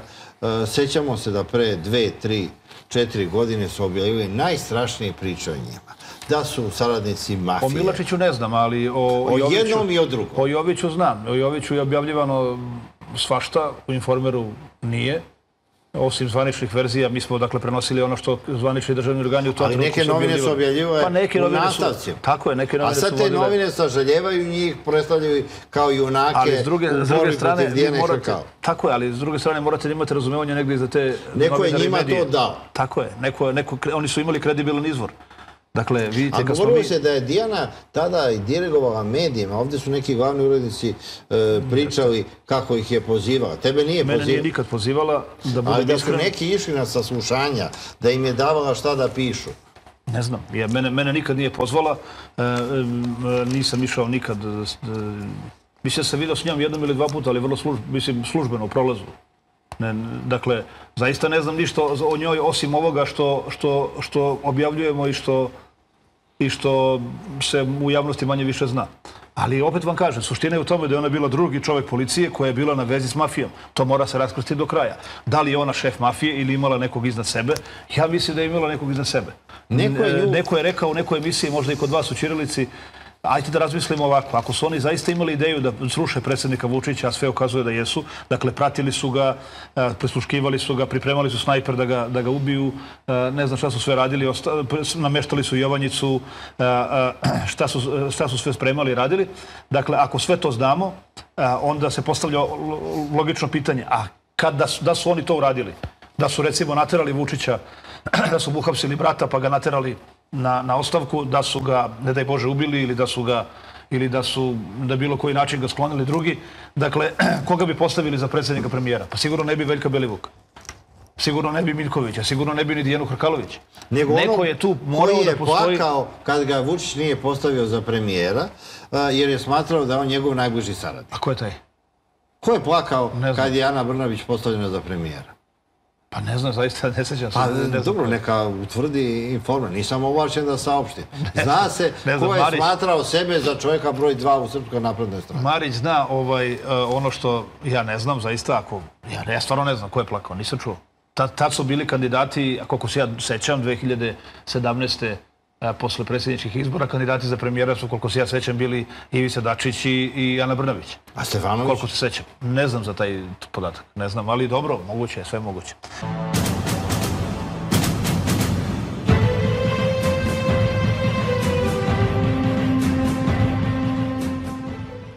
Vlastimir Milošević, star 34 godine, likvidiran je 30. januara 2017. godine u ulici 27. marta u Beogradu. Ubica je bio u podrumu Miloševićeve zgrade u kojoj je živeo sa porodicom. Znao je navike svoje mete, što ukazuje da ga je pratio i čekao da se on pojavi. Oko 7 sati ujutru, kada je Milošević izašao iz zgrade na ulicu, ubica je izašao za njim. Krenuo je ka Takovskoj ulici. Ubica je odmah ugrabio prvu priliku da zapuca. Žrtvu je najpre pogodio u noge, a pošto Milošević nije pao, nastavio je da trči ka njemu sve do tramvajskih šina, gde je Miloševiću pucao u glavu. Vlastimir Milošević bio je šef agencije za obezbeđivanje prestoničnih splavova i bio je bivši reprezentativac u borilačkim veštinama. Milošević nije imao kriminalne dosije. Policija je uhapsila Veljka Belivuka, Marka Miljkovića i Mirka Kojića i njih osumničila kao pomagače direktnom izvršiocu, koji nije otkriven. 8. marta 2019. godine apelacioni sud u Beogradu pravosnažno je oslobodio Veljka Belivuka i još dvojicu okrivljenih od optužbi za pomaganje u ubistvu Vlastimira Miloševića. Sud je ustanovio da ne postoji ni jedan dokaz da su osumničeni na bilo koji način učestvovali u ubistvu Miloševića. Ubistvo Vlastimira Miloševića nije rešeno.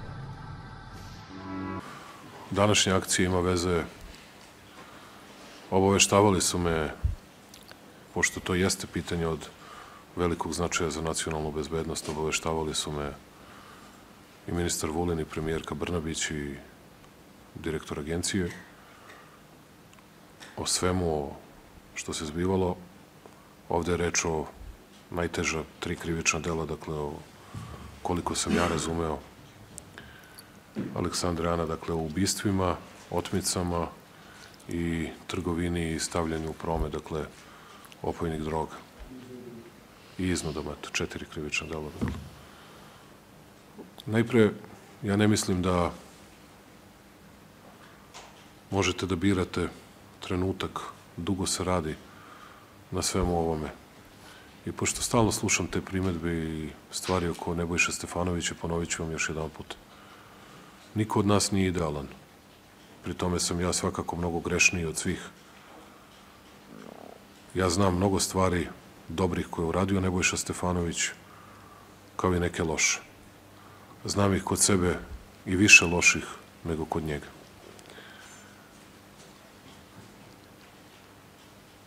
Srećan sam što je policija i što je ministar obavio dobar posao po ovom pitanju i verujem i nadam se da će ta borba biti nastavljena jer to čeka i Niš, i Vranje, i Valjevo, i Suboticu, i mnoga naša mesta, vidite, neka sam namerno pomenuo, samo da bi znali da ne postoji način da se sakriju i da pobegnu. Zato što je lepo da mislite da možete sve. Ali ako mislite da je u redu, pošto naši ljudi to ne znaju, da neko vodi politiku, nema tela, pa nema dela. Mi nemamo dokaz, ili nismo imali dokaz za to, a neću vam reći šta sad imamo kao država. A vi mesecima znate da ljudi nestaju. I nekoliko ljudi je nestalo. I znate da ti ljudi, pretpostavljate da ti ljudi nisu u životu. Vi to ne možete da kažete ni familijama, niti bilo kome drugom. A onda pogledate snimke, pošto se neko unervozi pa izgubi živce, i onda vidite kako neko ulazi u određeni objekat i nikad iz tog objekta ne izađe. I vi dalje ne možete da donesete odluku da hapsite ili da nekoga tražite jer nemate dokaz da je taj čovjek ubijen. Samo hoću da ljude znaju s koliko teškoća se suočavate. I zato čestitam na hrabrosti tužioca za organizovani kriminal. Da li je to moglo pre pet meseci? Nije. Neki pričaju, kaže, što Vučić nije govorio. A sećate kad sam govorio da me brine da li je neko za ubistvo na šinama menjao DNK ili ne. To sam nekoliko puta govorio u svojim javnim nastupima. Ja i dalje nemam, mi i dalje nemamo dokaze za to. A da li nam je svima sumnjivo i da li svi pretpostavljamo šta se dogodilo? Pa pretpostavljamo. Ali kao što vidite, na kraju država je pobedila. Država je pobedila. E, čuli smo poruke predsednika jasne e, da će se očistiti državni organi od svih koji su sarađivali sa mafijom. Pa da, to su šokantni, jezivi podaci. Dakle, e, i pre onih najjezivijih, najšokantnijih, dakle, onih snimaka koji su objavljeni, vi imate podatak da je neko iz vrha države, a to, je, to može da uradi samo neko iz vrha države, prisluškivao predsednika 1572 puta, sad vidimo. To znači da su njegove komunikacije praćene godinama. Uz to, on je i praćen fizički. Dakle, Deca su praćene, dakle, njegov, je praćen. Rekao juče Brat, ministar otac. Vulin potvrdio i to je sad zvanično. Dakle, praćeni su e, njegov brat Andrej, njegov sin Danilo i njegov otac Anđelko. A, to su neverovatne stvari. Dakle, i to je trajalo godinama. I svi ovi policajci koji su bili uključeni u taj postupak, oni su pali na poligrafu. A, samo ću vas podsjetiti na jednu prethodnu istragu. A, mi smo pisali o tome pre prošle godine, mislim da je bilo sredinom, u drugoj polovini prošle godine, kada su u policiji tvrdili da su ti ljudi a, prošli poligraf. Neki, neki iz policije, koji Da. su očigledno bili umešani u ovo i, pokušava, i pokušali sve da zataškaju. Dakle, to mora da dođe do kraja. Nema nikakve dileme. A kraj je e, otkrivanje državne, policijske i svake druge e, a, a, a, strukture i, e, koja stoji iza ovoga. Otkrivanje državne, policijske, političke pozadine ovih svih afera. Kad kažem ovih svih afera, ne zaboravite, sve ovo počinje sa aferom prisluškivanje, ali se nastavlja sa, sa, sa ovim, sa ovim, kako bih rekao, velikim zlom Jezivi snimci. koje je otkriveno, koje je otkriveno kod ovih, kod ovih, e, kod ovih mafijaša iz grupe Veljka Belivuka i Marka Miljkovića. Dakle, Slik- to su ljudi, to su ljudi sa kojima su neki, to su ljudi koji su, sa kojima su neki a, iz vrha države, iz vrha a, a, bezbednostnih struktura blisko i najbliže sarađivali. I neki ljudi iz sporta su sa njima sarađivali. To je neverovatno. Šokantno je Ozbiljni sada- funkcioneri, ozbiljni ljudi. Evo, Sarađivali sa ljudima koji su svojim suparnicima sekli glave, ih, maltretirali ih i mučili na najjezivije moguće načine. Sve oči su uprte na Vučića sutra. Pa jeste, od toga, od toga nam mnogo zavisi. I, ja sam, I da vam kažem sad nešto, ako dozvolite samo još jednu rečenicu. Ajde, moramo da pređemo nešto, a i, mi, i mi, Darka Mladića. Ja, pazite, i ja koji sam glasao za predsjednika Vučića i svi mi koji smo glasali za Vučića. Ja sam glasao za Vučića zbog moje dece, zbog njihove budućnosti. Ja ih imam petoro dece. Dakle, nisam ja glasao za Vučića što ga privatno poznajem ili ne znam što smo prijatelji. Ne, nego zato što sam siguran da će on učiniti sve i uraditi najbolje moguće za moju decu i za, decu, i za svu našu decu. I za decu naše dece. Dakle, uh, uh, šta sam htio da vam kažem? Dakle, uh, šta sam htio da vam kažem? Htio si da kažeš uh, nešto oko gasa, ja sam da, da te pitam oko dakle, dakle, siguran sam, samo to, samo Ajde. to. Pripadnici Ministarstva unutrašnjih poslova sproveli su opsežnu akciju ARES u okviru koje je uhapšeno 360 osoba. Više u ovoj akciji reći će nam Dijena Hrkalović iz Uprave kriminalističke policije Ministarstva unutrašnjih poslova Srbije. Dobro jutro. Dobro jutro. Hvala što ste došli na naš program. Uh, idemo odmah na temu. Idemo odmah da pričamo širom Srbije. Akcija ARES, 360 uhapšenih uh, dosta opsežna akcija. Radi se o narkoticima, nedozvoljeno držanju oružja, iskorišćavanju maletnih lica za pornografiju i raznim drugim vrstama krivičnih dela. Da, dobro jutro i hvala što ste me pozvali. Dakle, u ovoj akciji ne samo što su targetirana ključna čvorišta opšte kriminala u Srbiji, već je ova akcija obuhvatila izvršioce onih krivičnih dela koja su a, najbitnija za građane Srbije, najviše ih lično pogađaju njih i njihovu decu. Posjećanja radi uhapšeno je 360 lica, protiv 202 lica su podnete krivične prijave u redovnom postupku, što znači da imamo ukupno krivično gonjenih 562 lica, što je impozantan rezultat. Zaplenjeno 167,5 kg droge, 36 pušaka, od čega 4 automatske puške, oduzeto 19 vozila, pomenula bih tri laboratorije marihuane u Beogradu, Valjevu i Sremskoj Mitrovici, što je inače izuzetno teško pronaći i na čemu je policija dugo radila.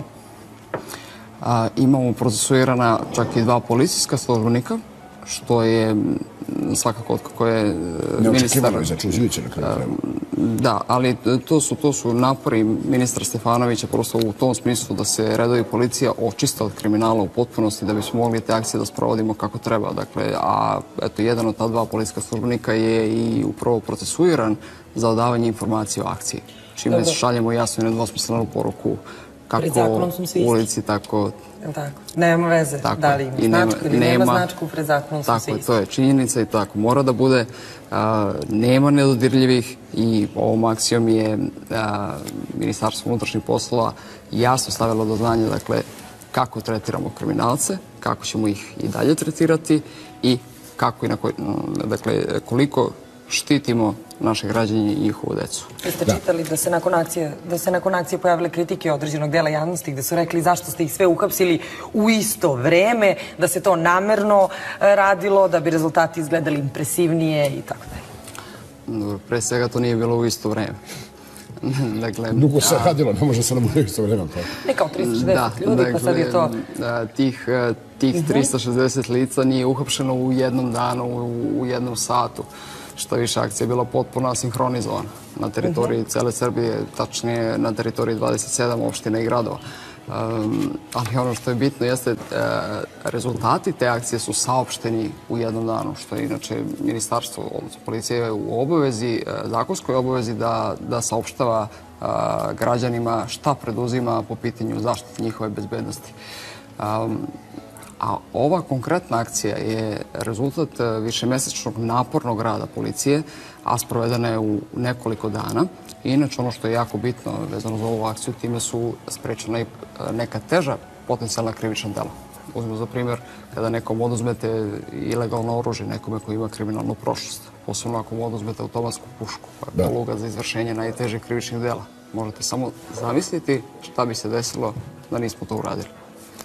E, začuđujuće da takvi arsenali oružja među tim kriminalcima, ajde kažemo ovo, postaju kao, mislim, kućni ljubimci, te ne kao da ima kuću macu kanarinca, oni imaju automatske puške, e, diluju, trguju.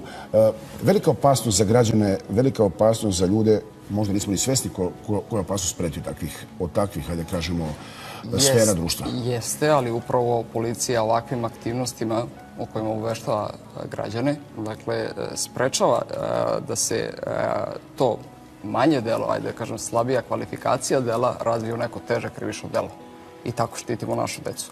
Ali ja ono što ne mogu da razumem, ne mogu da razumem, e, osvrnut ću se samo na kratko na te komentare, mm -hmm. ako dozvoljavate. Naravno. Ne mogu da razumem da u ovoj državi postoje ljudi kojima smeta hapšenje narkodilera ili kojima smeta hapšenje uh, takvih ljudi koji bilo kog kriminalca tako je, koji, koji kod sebe imaju automatsko oružje osvrćam se sada na te neke negativne komentare u javnosti. Mhm. Posebno, e, posebno komentare određenih ljudi iz sveta politike gde hajde, ne, neću to pripisati nekoj zlonamernosti. Reći ću da je to samo neznanje.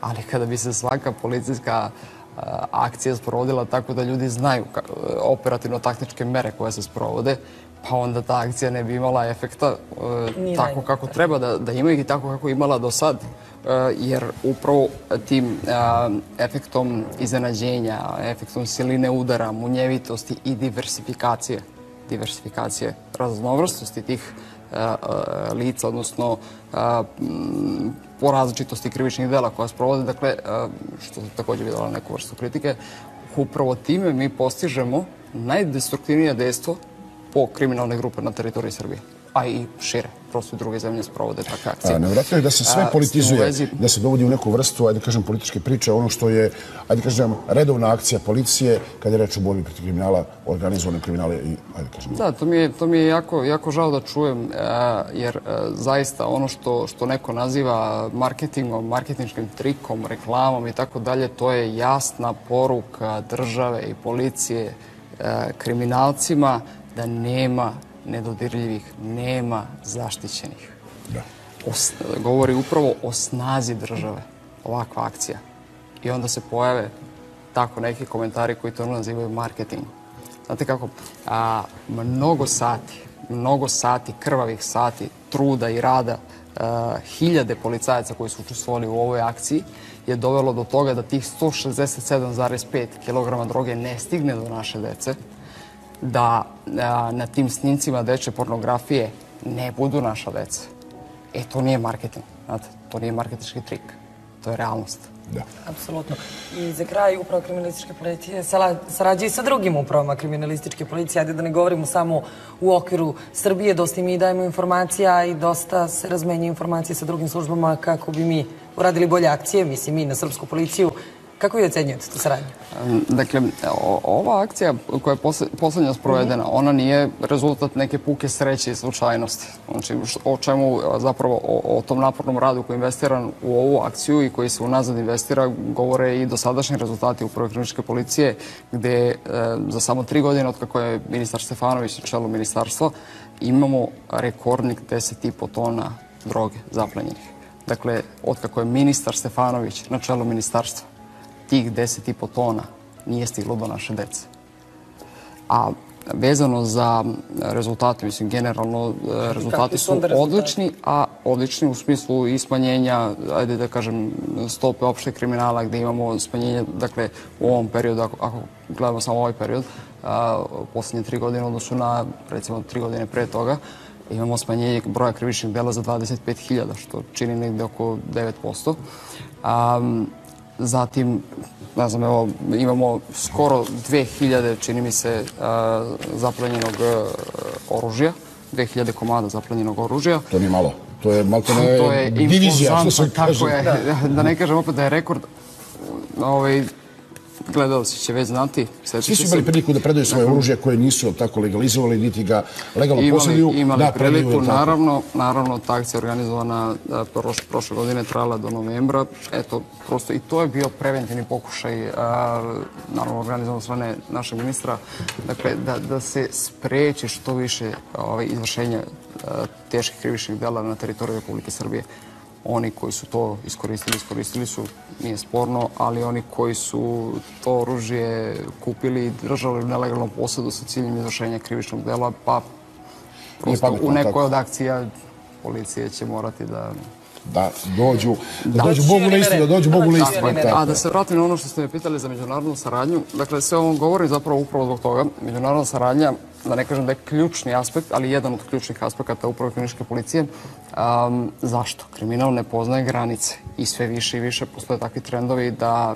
dakle, ako uh, te međunarodne organizovane kriminalne grupe se uvezuju svojim ćelijama uh, u celom svetu, dakle onda ni policije ne smije da poznaju granice. Mora da postoji efikasna saradnja između, između policije svih zemalja, što na današnji dan apsolutno mogu da ocenim kao izuzetno efikasno. Dakle, uh, nekada su informacije putovale nedeljama, mesecima, i onda prekasno stignu i onda mi možemo prekasno da reagujemo. Sada mi na dnevnoj varijanti imamo na desetine razmenjenih operativnih informacija, što preko Interpola, Europola, Seleka, a što i na operativnim sastancima preko oficira za vezu kako naših, tako i inostranih. Dakle, um, i to se dešava u, ne, u nekom realnom vremenu da mi možemo da reagujemo. I rezultat toga su onda hapšenja koje uslede ovde na ovoj teritoriji po informacijama drugih zemalja ili obrnuto po našoj informaciji, što je vrlo česta situacija u poslednje vreme, baš sam zadovoljna zbog toga, ponosna, a, hapšenja koje uslede u drugim zemljama, zbog naših informacija, na, osnovu, na osnovu naših Razni informacija. kriminalni klanovi nemaju granicu. Vidjeli smo, vidjeli smo i bili smo svedoci prethodnih meseci i godina raznih obračuna, tako u čitavom regionu, ne samo kod nas. Ovo je važna vrsta, važna saradnja, bitna stvar. Eto, Puno hvala što ste nam izdali ove podatke. Puno hvala što ste bila naša gošća. Zvaćemo vas ponovo. Vidimo se uskoro. Hvala, A mi sada, hvala Dijana. Idemo ja bih zamolio, zamolio bih režiju... E, ali znaš da nećeš moći to da pustiš, moramo da idemo na reklame. Znam. Nikako ti se ne da. Ne da mi Nikako se danas, ti se ali ne da. pustit ću ti Idemo. Kao što se iz moje izjave jasno vidi i čuje, ni u jednom trenutku nisam rekao da je FBI učestvovao u istrazi protiv Belevuka i njegove grupe. Istraga protiv kriminalne grupe Veljka Belevuka započela u vreme kada sam obavljao dužnost ministra unutrašnjih poslova i očigledno je ključni segment te istrage upravo trenutak kada je FBI razbio tu enkripciju. Da, se samo vratimo na prisluškivanje, svi su pali na poligrafu na pitanjima o prisluškivanju. Jeste, jeste, jeste. I to je nešto što je... A kad to uparite sa činjenicom da su najviši funkcioneri odbili telegraf, ovaj telegraf, odbili poligraf. Poligraf. Da je, da je državna sekretarka a, Dva puta, u Ministarstvu unutrašnjih poslova a,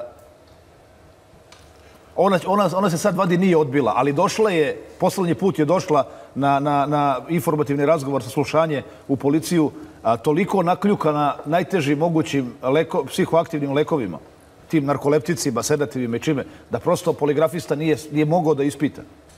Jer vi, pazite, kad vi dođete sa spiskom lekova koje kao pijete zbog teške psihičke bolesti, onda ne može da vas ispita. Tako da na taj način zapravo izbegla poligraf. Ali imate pre toga Slavišu Kokezu koji je odbio poligraf, otvoreno. Odbio je da odgovori na pitanje, od, pazite, odbio je da odgovori na pitanje da li imate saznanje o pripremi ubistva Aleksandra Vučića.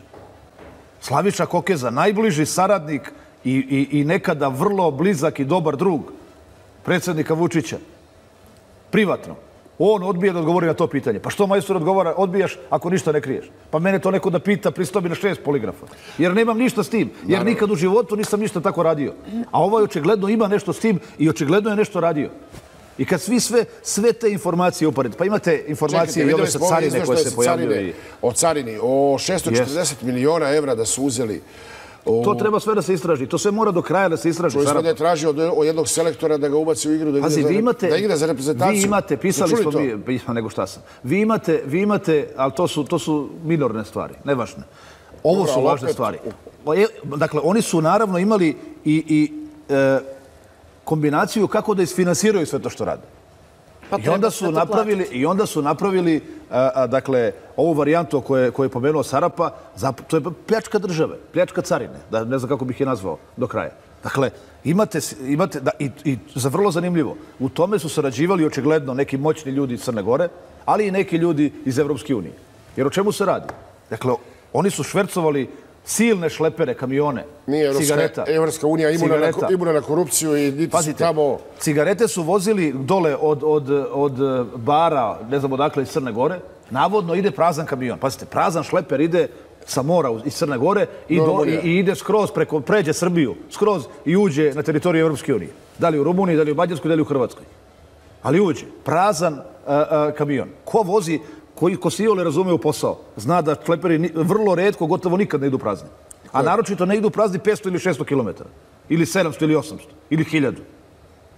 Dakle, i na, u, u taj posao su bili umešani i moćnici u Crnoj Gori, i moćnici u Srbiji, i neki, u najmanju ruku, carinici, šefovi carine, ili ne znam ko još, u Evropskoj uniji. Ko je to i zašto odobravao? Da bi se finansiralo šta?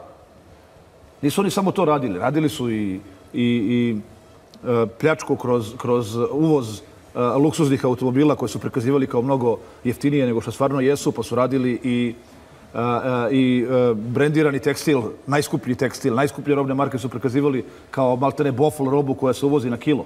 Dakle, to su strašne stvari koje su oni sebi dozvoljavali. Ubeđeni da im niko ne može ništa. Ubeđeni da se to nikada neće otkriti. Tu je najveći problem. Ali evo vidimo da ali niko... evo, Bogu hvala, postoji ozbiljna država i ovo sada mora da se istraži do kraja i sada, i zato je sad ova velika nervoza. Polako se sigurno primičemo tim ljudima koji su bili u vrhu. Nije u vrhu bio Veljko Belivuk. On je možda bio, ali nisam bio to siguran, šef te svoje kriminalne grupe. Ali on je bio izvođač najprljavijih prljavih radova, mafijaških radova. I on, i Miljković i svi ostali. Iznad njih je bio glavni šef te mafije. E, A taj glavni pitanje. šef mafije je, nažalost, izgleda bio u vrhu državnih struktura. I to mora zato do kraja da se rašisti i svako ko ima nešto protiv toga, i od medija, i od političara, i od, e, ne znam, raznoraznih, po znacima navoda, intelektualaca, zapravo javno pokazuje da ima prljavu savest. Ko bi neko imao nešto protiv toga? Neko ko je pošten, neko ko, ko ništa ne krije, neko ko ne radi za mafiju. Izvinite. Svakome je u interesu da se to raspetlja sve. Čekajte, ko može da kaže da, da, da je loše to što je, e, to što je država objavila i ušla e, u, u, u najodlučniji mogući rat protiv organizovanog kriminala? Oni su Aman, imali, ljudi. vidite, oni su imali slike policajaca, radnika u bezbednostnoj informativnoj agenciji koji eto, njima nisu po volji. jel Tako, Oni su dakle. pripremali, oni su pripremali... Masovna ubistva, šta? Pripremali likvidacije ljudi koji su vodili istragu protiv njih. Dakle, oni su pripremali ubistvo i pripadnika uh, MUPA, i častnih i poštenih, hrabrih pripadnika policije i pripadnika bezbednostno informativne agencije, koji su, ova istraga nije trajala šest dana, ili 16 ili, ili, ili 30 dana. Ova istraga je trajala mesecima, gotovo godinu dana unazad. Mi znamo za nju od trenutka kada je predsjednik, čini mi se 17. oktobra, ako sam dobro upamtio, prošle godine, objavio rat. Mislim, kada je objavio onaj video na, na, na Instagramu, pa smo mi od tada registrovali da postoji taj rat Jasno. To protiv, protiv mafije. da. Ali oni i mesecima pre toga trajao. Rezultati Ministarstva unutrašnjih poslova Republike Srbije u poslednje četiri godine su bolje nego ikada ranije. Od kada je ministar Nebojša Stefanović na čelo ministarstva, broj ukupno izvršenih krivičnih dela u našoj zemlji je za skoro 9% manji u odnosu na isti period pre toga. Izvršeno je 17% manje krivičnih dela protiv imovine, 19% manje ubistava, a značajno su povećane zaplene narkotika. Tačnije, u poslednje četiri godine policija je oduzela 13,7 tona narkotika, što je za čak 43% više nego u istom periodu pre toga. Strašno je kada izgubimo i jedan mladi život zbog konzumiranja narkotika, ali MUP će uložiti sve napore da još smanji prisustvo sintetičkih i drugih droga na našim ulicama. Dosta toga je već urađeno. Prošle godine je otkrivena prva laboratorija ekstazije u Srbiji, a zaplena sintetičkih droga je značajno povećana. U poslednje četiri godine oduzeto je milion i 800 hiljada tableta, što je tri puta više nego ranije. Kada je reč o ubistvima, zahvaljujući napornom i posvećenom radu Beogradske policije, rasvetljeno je više od polovine kriminalnih obračuna u Beogradu ove godine. To nije ni malo lak posao jer se radi o profesionalno izvedenim ubistvima. Poslednje u nizu rasvetljenih ubistava je ubistvo Luke Radulovića. Želim da napomenem da je značajno unapređena međunarodna policijska saradnja koja ranije skoro da nije ni postojala. Izuzetni rezultati su ostvareni u saradnji sa policijama Španije, Češke, Nemačke, Austrije i zahvaljujući tome su uhapšene i procesuirane mnoge organizovane kriminalne grupe koje su delovale na međunarodnom planu. Mnogo toga je urađeno i na suzbijanju kriminala i korupcije u redovima policije. Od dolaska ministra Stefanovića do danas procesuirano je 768 policijskih službenika, od kojih je 110 bilo rukovodilaca u MUP-u. Svi ovi podaci jasno govore da je prošlo vreme kada nije postojala iskrena volja da se država obračuna sa kriminalom. Dolaskom ministra Stefanovića taj period iza nas. Jer danas ne postoje kriminalci kojima policajac ne sme da priđe, da zatraži dokumenta i da izvrši pretres njih i njihovog vozila. Za razliku od nekih ranijih perioda kada su kriminalci slobodno šetali ulicama i bili ugledni građani, koje niko nije smeo ni da pogleda, kamoli uhapsi, više nema zaštićenih. I ne interesuje me ko štiti Dijanu Krkalovića. Ja stvarno, ja stvarno ne mogu da verujem da, da se neko plaši. Dakle, vi imate Aleksandra Vučića koji je time uplaše. Ali imate političari iz opozicije koji se plaši i kažu pa neće ti to dozvoliti. Ma ko pita ko će da mi dozvoli ili ne. Znači imam ustav i zakon koji mora da poštujem. Ja govorim evo ovako. Dakle, dajem obećanje. I mogu da ga dam samo iz bezbednostnog sektora. Onog trenutka kada bi se Milan Dumanović, kada bi ponovo bio u bezbednostnom sektoru, Aleksandar Vučić više ne bude bio na vlasti, Dijana Krkalović bi završila u zatvoru tog dana. Pod kojim optužbama? Pod optužbama za, orga, za pripadništvo sa izvršilaštvo u organizovanoj kriminalnoj grupi koja je radila otmice i teško ubistvo. Ta kazna ide od 20 do 40 godina zatvora. Koji je nivo njene umešanosti? Potpuni. E, Dijana Krekalović je uticala da se ova grupa stvori i sve ono što je radila, dakle ona je oslobodila Veljka Belivuka i Marka Miljkovića ubistva ovaj, na šinama u, u Beogradu, u centru grada. Ona? Ona direktno. Imate dokaze? Uh, imam svedočenja, pa preko 50 policajaca, ovaj, da je ona naređivala da se unište dokazi. Kao što imate, vi imate i za Sava Malo, ako se sjećate da je gospodin e, Stamenković, čini mi se, na sebe prihvatio odgovornost za Sava Malu, pa nije on mogao ovaj, da spreči...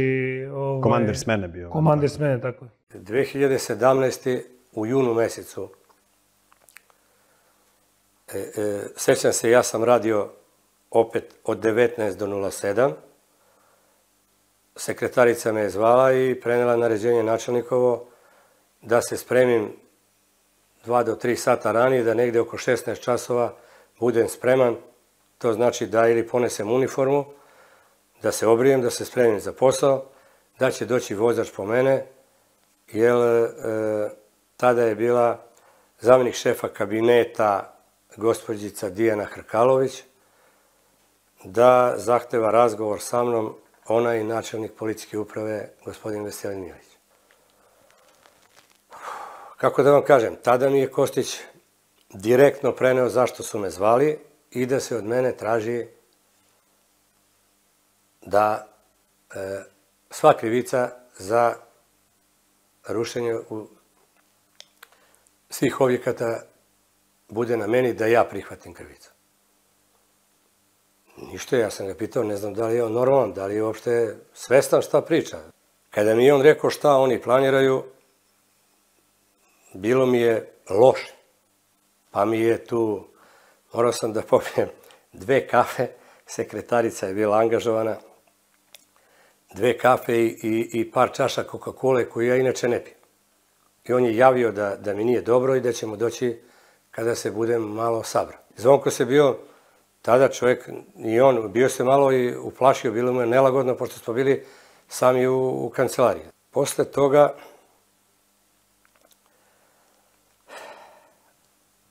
uvodnu reč je imao načelnik policijske uprave Veselin Milić, koji me je, Bog zna kako, nahvalio. On je tad mene navodno predstavio Dijani Hrkalović, rekavši da su se o mene mnogo ogrešili, e, da sam bio planiran za mesto nekog načelnika, da je to mesto dodeljeno drugom na, na urgenciju izvesnog ministra.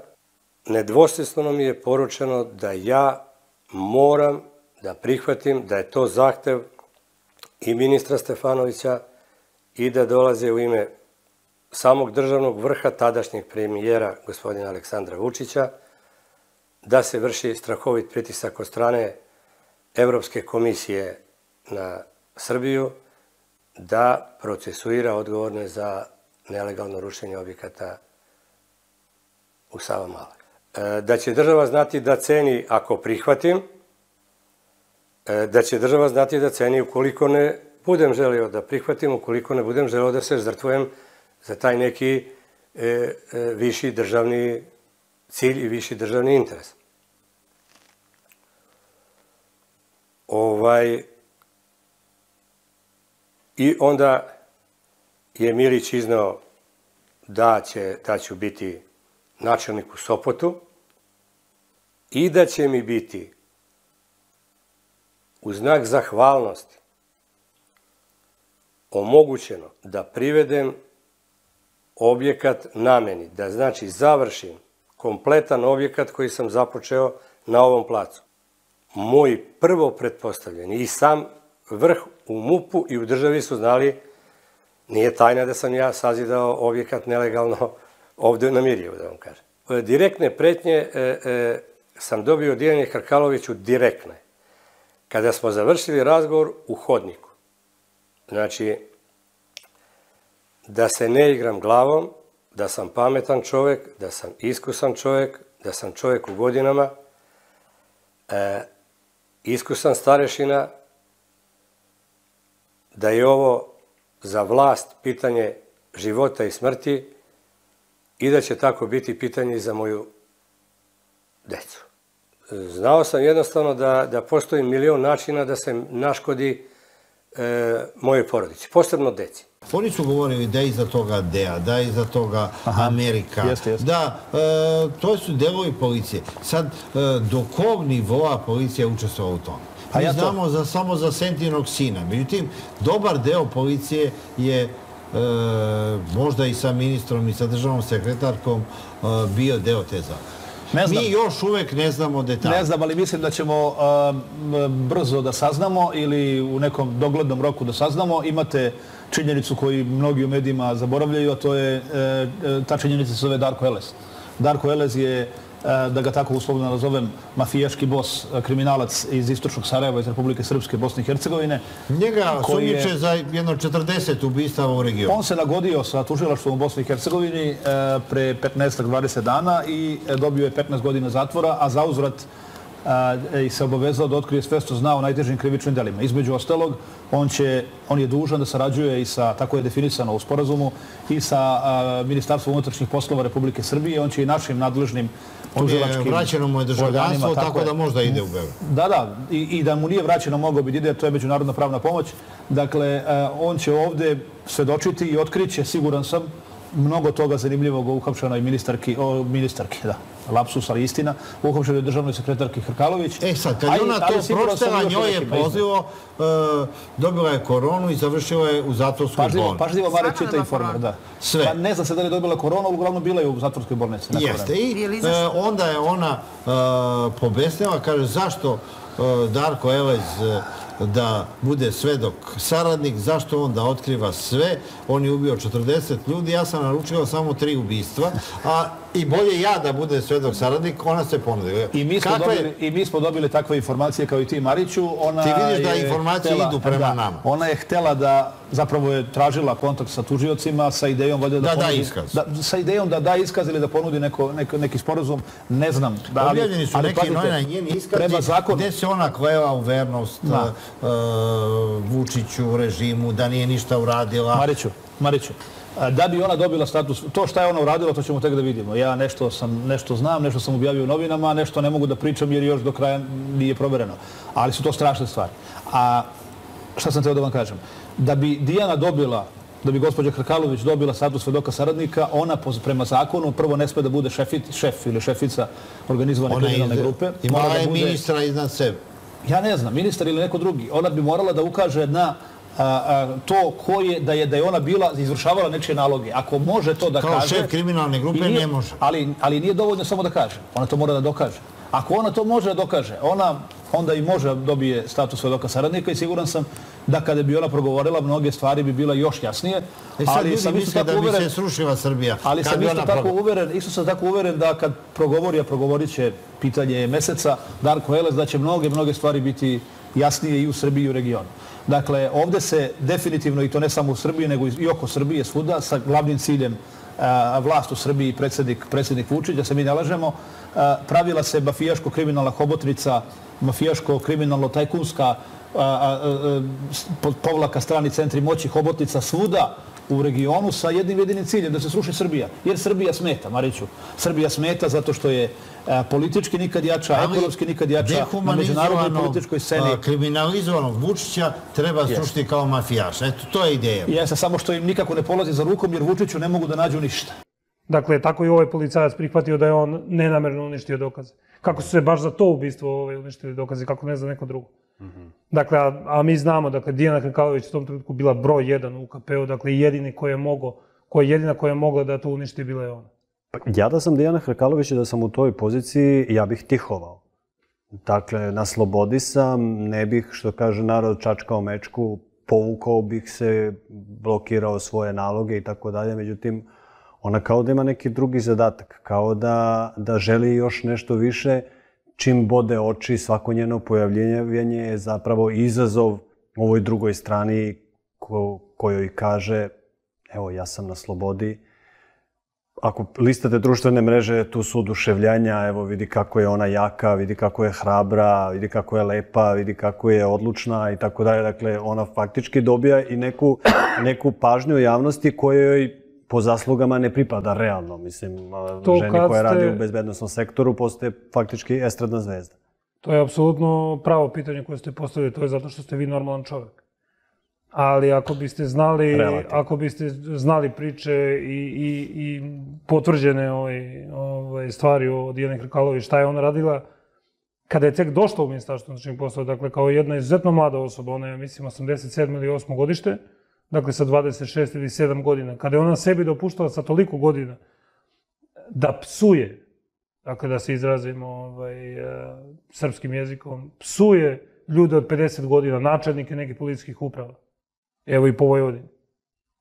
Šta vi mislite šta je ona onda u svojoj glavi doživjela i, i, i kako, kakvu je ona u sebi osjećala moć 2019. godine, na primjer, ili 2017. 18. Dakle, ona je sebi to dozvolila sa godinu dana stažom u. Vi ste govorili da je Ja mogu da vam kažem da sam brutalna- ja, ja mogu da vam kažem da kad sam se ja zapošljavao, ja sam imao starije kolege od sebe, odnosno ljude koji, koji rade duže od mene po nekoliko meseci. Mlađi su bili od mene po nekoliko godina. Ja nisam hteo da sednem na, na, na stolicu dok ne pitam nekog od njih da neko drugi neće da sedne. To je razlika između čovjeka koji završi višu školu unutrašnjih poslova i koji ima osnovno vaspitanje iz kuće i, i, i bandita u, u telu jedne lepe mlade žene kao što je Dina Grkala. ali ona je visoko obrazovana. Ona je, kažu da je jako talentovana za psihološku obradu bilo kriminalaca, bilo svojih, bilo svojih saradnika, a vi ukazujete i na, njego, na njeno brutalno ponašanje. koliko je psihološki obrazovana, pokazuje da mene nije mogla da u jednom telefonskom razgovoru natera ni, da, ni na sastanak.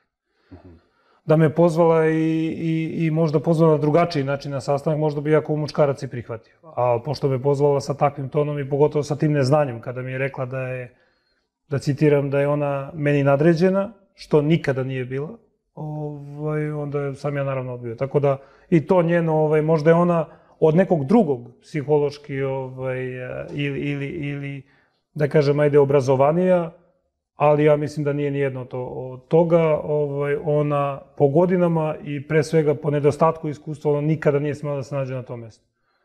I dakle, to je jedna, to je paradigma ovog vremena Aleksandra Vučića, dakle, u bezbednostnom sektoru. Dakle, Milošević imao neke takve policajce, Mhm. ali je imao i mnogo iskusnije policajce koje su ga savjetovali nekad i neke, da radi neke normalne stvari. Vi ste imali u Ministarstvu unutrašnjih poslova 2014. čoveka koji se zove Nebojša Stefanović, koji ima nadimak Slina, koji apsolutno zasluženo ima taj nadimak i čoveka koji nik, niko normalan ne može da poštuje kada ga vidi. Zato što vi kada ste ministar unutrašnjih poslova morate da imate neki stav, neko ponašanje, a onda imate Dijana Krukalović, jednu devojčicu koja dođe i ponaša se samo bahato. Ona se nije ponašala, ona je htjela da ima samo poštovanje, to je strahopoštovanje. Nju niko nije poštovao u ministarstvu. Nju se ljudi plašili.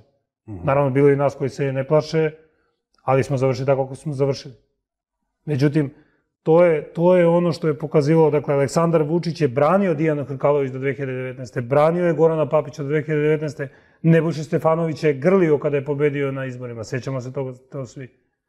I sve one policajce, a onda je se setio ono sram da ga bude, dakle, za to će, to, to je posebno sramota ko, koju ja ne mogu kao policajac da mu oprostim. Dakle, on priča o Dejanu Joviću koji dožive ono što je doživao od njegovog režima. Dakle, Dejan Jović je hapsio te kriminalce, najstrašnije opljuvan po tojim njegovim medijima i onda se Vučić setio Dejana Jovića onda kada je umro. Gde je bio tada kada je on bio uhapšen? A to je čovek koji priča da, da, da ima toliku podršku naroda, da je sve kontrolisao, pa šta sad na kraju ispada da nije? Ne, on je sve kontrolisao, ali kada mu je naređeno da uhapsi ove svoje kriminalce, on je to morao da uradi. Vi izlazite sa tezom da je Dijana Hrakalović kadar Aleksandra Vučića, da nije kadar Nebojše Stefanovića, kada ste rekli da je Dijana Hrkalović paradigma ovog vremena, verovatno aludirate na to da je ona uspostavila paralelni sistem bezbednosti koji je direktno podređen jednom čoveku koji... I jednoj službi. I da taj sistem nije obavezan ni propisima, ni zakonima, ne odgovara ni sudstvu, ni nadređenima, već direktno Dijane Hrkalovića preko Dijane Hrkalovića Aleksandru Vučiću. Pa Dijana Hrkalović je ovaj, bila praktično centar dve, dve korumpirane kriminalne organizacije. Dakle, Dijana Krkalović u centru, sa jedne strane se nalazi Aleksandra Vučić, sa druge strane se nalaze bezbednostni sektor, odnosno pre svega bio, dakle ona došla. A zašto ona ne može da bude da kadar kažem, Nebojše Stefanovića. Kadar Nebojše Stefanovića. Pa ona je u bezbednostni sektor ušla pre Nebojše Stefanovića. Možda je Nebojše Stefanović poslao nju da mu prokrči put nije pa da onda on dođe. Nije mogao da, da je on pošalje, dakle ona je ušla u bezbednostni sektor već 2000, krajem 2012. godine, Nebojša Stefanović je, kako se tad sećam, bio u Skupštini. Predsednik Skupštine. On jeste bio predsednik gradskog odbora, ali ja mislim da je bio tada predsednik gradskog odbora, ali on, on, nje, on njoj nije bio šef. Dakle, njoj je šef Njoj su šefovi bili u Kraljice Ane bez broja i uh, Aleksandra Vučić sve vreme. Dakle, Ona jeste bila u kabinetu kod Nebojše Stefanovića, međutim, ona je vodila ministarstvo unutrašnjih poslova. Mm. I ono što morate da znate, dakle, to ne govorim da bi, da bi, da bi kao, kao neki ovaj, iz režima podizali sebi bilo šta. Dakle, to da je Dijana, Stef, Dijana Hrkalović, ne Stefanović, vodila ministarstvo unutrašnjih poslova, čitava javnost saznala je tako što su 2. januara 2017. kod nas došli prvi put u postoju, jer su na to imali pravo naši advokati. Dakle, tad neki ljudi, ne neki, nego većina ljudi u Srbiji nisu ni znali ko je Dijana Hrkalović. A ona, rekao sam već, ovaj, je vodila sve akcije koje su direktno bile povezane i za porodicu Vučić i za Srpsku naprednu stranku, a protiv opozicije, odnosno protiv onih koje oni smatraju protivnicima. Dakle, sve je to vodila Dijana Krkalović, ministar unutrašnjih poslova ni tada, a ni sada, ja mislim, ovaj, po zakonu o, o policiji, nema pravo mešanja direktno u istrage. Dakle, on ima pravo da traži mesečne izveštaje i tako dalje, tako dalje, ali nema pravo na to. To je ono, to je ono što je sigurno. Dakle, ali Dijana Hrkalović je bila neko ko je kontrolisao navijače, ko je kontrolisao sve, sve što se dešava u ministarstvu, ali dobar deo je znala i, i kontrolisao ono što se dešava i u BII. S obzirom da se e, u javnosti govori, a i uče, e, imali tu situaciju, o slučaju Belivuk. E, što se tiče velikoj državnoj akcije, dakle državnih organa u hapšenju organizovane narko-kriminalne grupe, juče je osuđeni bivši pripadnik Ministarstva unutrašnjih postoja Ilija Milačić, izrekao brojne brutalne laži i želim da javnosti predočim nekoliko važnih činjenica. Pre svega, e, Belivuka ili bilo kog drugog člana njegovog kriminalnog plana nisam nikad upoznao, nisam ostvarivao kontakte sa njima, nisam ih pozivao, niti to činio lično, niti putem posrednika i spreman sam da u svakom trenutku budem poligrafski testiran i na ove okolnosti, odnosno na sve što se vezuje za ovu kriminalnu grupu i da sva svoja saznanja, kako god da su podeljeni sa nadležnim državnim organima, ako to na bilo koji način može im pomogu. Zašto se sada pokreće hajka vezana za Belivuka usmerena protiv mene. Zato što oni koji jesu imali kontakte sa Belivukom, oni koji su sedeli s njim u beogradskim kafićima, išli kod njega u stadion, održavali komunikaciju s kraj aplikacijom, a sa sve to imaju saznanje i podatke naše bezbednostne službe, ti ljudi pokušavaju da svoju krivicu, odnosno svoje kontakte sa Belivukom prikriju, danas ga se odriču i to pokušavaju da sakriju svoju krivicu i da to prebace sve na, na sve druge, samo da oni ne bi odgovarali, da ne bi bili pitani za svoje kontakte, komunikaciju poslovanja sa Belivukom i njegovom kriminalnom grupom. Radi se pre svega o Aleksandru Papiću, biznismenu iz Beograda, koga sam ja dobro poznao ili sam bar tako mislio do te godine dana, on utvrdio da je čovjek sve vreme pokušavao da mi bude blizak, ne bi li ostvario neke svoje prikrivene ciljeve. Zatim tu je Toni Apostolović, vlasnik i direktor kompanije Team Systems, koji je deo finansijske mašinerije i bivši policajac Ilija Milačić, koji se i sam viđao sa Belivukom, ali i sa drugim članovima njegovog plana. Do ovih saznanja došao sam, nažalost, poslednjih nekoliko meseci posledno, putem nekih od zaposlenih u ovim kompanijama i nekih od novinara koji su se bavili istragom ovih kontakata i veza i, e, nažalost, ubedljivo govore da su takve komunikacije takva poznanstva bili veoma intenzivni. Takođe, Miločić, koji je bio načelnik Beogradske kriminalističke policije, tvrdi kako je mogao još u avgustu 2020. da uđe u tu takozvanu kuću zdrave, dakle to užasno odvratno mesto gde su bijeli ljudi. A da sam ja, kako laže, navodno rekao da sačeka sa tim, da ne ulazi tamo i da te informacije da naredno nisu. Apsolutno tvrdim da ni Miločić, ni bilo ko drugi nije obavestio da ima bilo kakav dokaz koji bi bio dovoljno za hapšenje Belevuka, nekog iz njegove grupe ili da imaju podatke o nekom prostoru u kome se odigravaju krivična dela, a koji koristi Belevuk ili bilo ko drugi od članova njegove kriminalne grupe.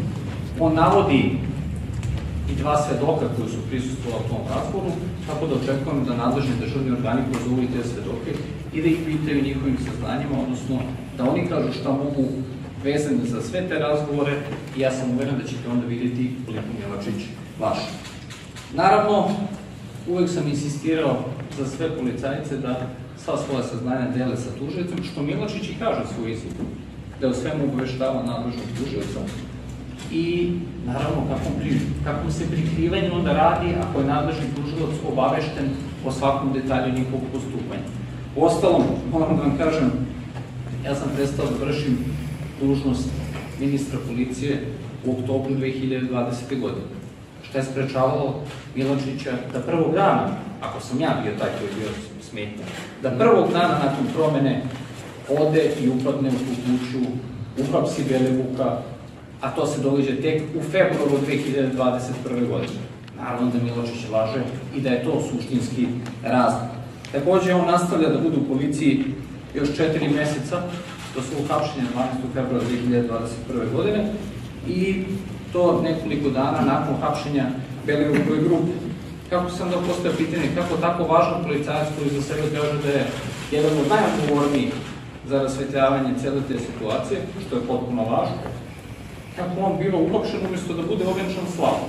To on govori da Ilija Milačić potpunosti laže sve što izgovori. E, hapšenje ili Milačića i kasnije osuda od strane suda dogodila se jer je službenu telefonsku karticu MUPA na koju su stizale operativne informacije dao Dejanu Upiliću, uredniku objektiva, kod koga je ta kartica i pronađena. Sam Upilić bio priveden na kratko od strane policije, zatim je pušten. I nakon toga Ilija Milačić uhapšen, osuđen na 7 meseci zatvora i nakon toga izbačen iz policije. Ne mogu da prećem naravno ni preko načina na koji je Vladimir Đukanović razgovarao sa ovim čovjekom, naročito zbog njegovih zaključaka da sam ja krešio zakon, da sam ometao ili čak blokirao istragu protiv Belivukove grupe. Ne znam zbog čega jedan pravnik, advokat, narodni poslanik i predsjednik Skupštinskog odbora za pravosuđe, a time i član Visokog saveta sudstva, ima ideju da izriče oko teške optužbe na moj račun i to javno, bez ikakve provere, i to samo na osnovu izjave jednog bivšeg osuđivanog policajca zbog rešenja zakona. Ja prosto sam siguran da i Đukanović zna da on nije običan novinar i da na takav način postavljanjem, e, e, navođenjem sagovornika na konstatacije i zaključke ne može da doprinese rasvetljavanju bilo čega niti do istine. Zašto to radi? Zbog čega se na takav, način ponaša i zbog čega i kao advokat podržava nekoga koji iznosi lažne machinacije, to ne mogu da prođu ni na običnom poligrafskom ispitivanju. Zbog čega je to tako? Verujem da je više pitanje za njega nego za mene.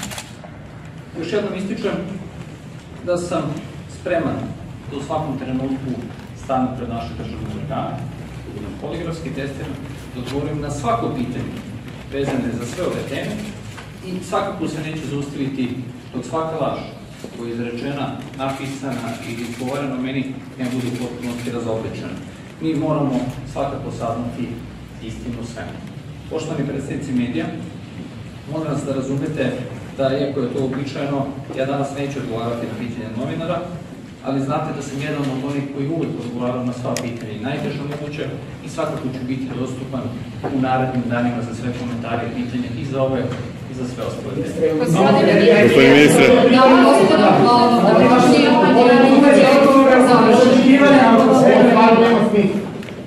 Što ste me zvali? Stvarno treba to to da bojkotati.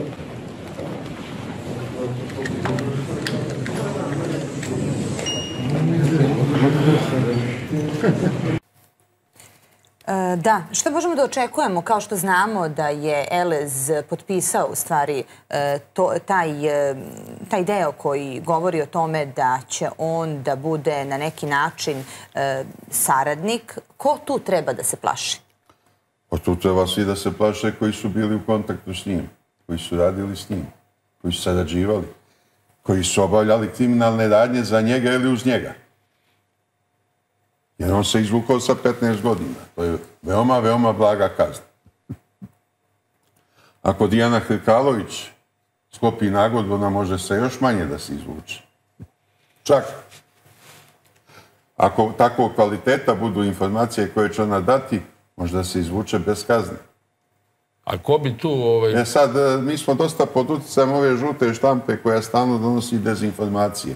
Te odlučila je da progovori, te traži pogodbu, onda saznamo da nije. Odlučeno da njen advokat kaže. Pa dobro, Tako možda da i advokat ne govori istinu, moguće... Je- Jeste, je, naravno. Moguće da advokat ne govori istinu. Imali smo onog advokata koji je nagovarao Belivuka kako da lažno svedoči kad mu počne suđenje i da krene odmah od napada na Vučića njegovu porodicu. Lazarević, da. Ali ovaj, ako Dijana Hrkalović, kako rekao ste, progovori, ko bi tu najviše... Ona, mogao- ja mislim, ima mnogo više da ispriča nego Elez. Dobro, i šira su i Elez ovlašćenja nije bio bilo. u svim kombinacijama ovdje. Da je ona bila Elez je bio po pozivu. Elez ima svoje, ispričao je valjda već to što je radio po Bosni. Na kraju sve ispliva na videlo. Zaklona se zemlja raju da se sve tajne doznaju. Gospodin Aleksandar Vučić sa svojim sinom e, došao je u Slovačku da bodri Crvenu zvezdu u vrlo e, teškoj situaciji kada je Zvezda u Beogradu izgubila 2 prema 1. Što je vaše očekivanje? Moj sin je veći optimista nego ja, ali veći optimista nego ja, ali sve jedno. Sve najbolje želim. Želim. I evo da vas ja sad pitam, kažete mi, a šta sam to ukrao negde? A gde to imam nešto, a da nisam imao 2012. godine? I sad ćete da vidite kakvi su to lažovi. Kažite mi to za članove porodice. Uže, šire, šta god hoćete. Nema ništa. Mi danas e, ćemo pokušati da budemo efikasni stvarajući nešto što mi nazivamo dosije Slaviša Kokeza. Dakle, taj čovek je ušao u biznis 2012. godine, formirajući svoju firmu koja se zove ProInter. Takođe, Kokezina firma ProInter je uspela da kupi Eurosalon, nekada gigant e, industrije nameštaja u Srbiji, za 190.000 evra. Da bi samo zgradu na sajmu u Beogradu za potrebe Beograda na vodi prodao državi za čak 16 miliona evra. I naravno, kao dragulj u kruni Slaviše Kokeze je preduzeće Win-Win, koji je povećao prihod sa 5 na 150 miliona evra od kad su Srpska napredna stranka, od kad su na vlast. I on je prodat Tehnomaniji za ogroman novac.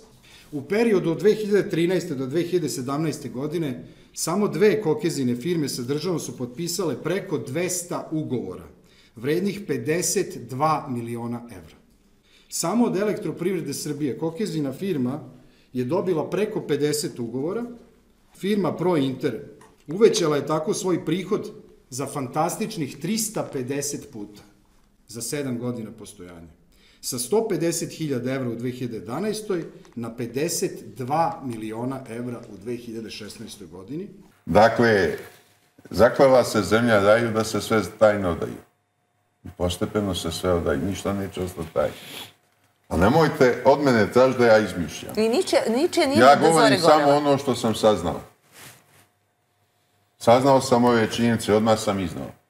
Neki su se sprdali kad sam iznao onaj dokument o prisluškivanju. Da, Tad počeše novine da ga objavljuju, ali novine i one lascivne delove, sve. Ja Dobro. nisam hteo to. Pa dobro, vi ste tu bili Ja idem odgovorni. na suštinu. Meni je cilj da se ta kriminalna grupa razbije i ne samo ta, nego sve ostale. Meni je cilj društvo što čistije od kriminala. Da li je cilj možda e, Dijane Hrkalović bio, bio taj da zauzme mesto Nebojše Stefanovića? Ne. Toliko glupa ona nije. Ne treba je to. Što bi ona zauzmala to mesto kad je vladala Nebojšom? Funkcioniše i senke. Pa da. Tamo se obraćala sa ljubavi. Čuj, Nebojš Stefanović, na kome ništa muško nema. Si ga video ti uživo ikad? Pa vidio sam ga kako ga nisam vidio. Koja to žena može sa čežnjom da pogleda? Možda je- Ni majka rođena. Da li možda je bila moć ta koju je ona priželjkivala? Moć. Ona je u stvari njegovu moć usavala polako. On je ostao prazna ljuštura, a ona je držala moć. Ali on donosio ključne odluke.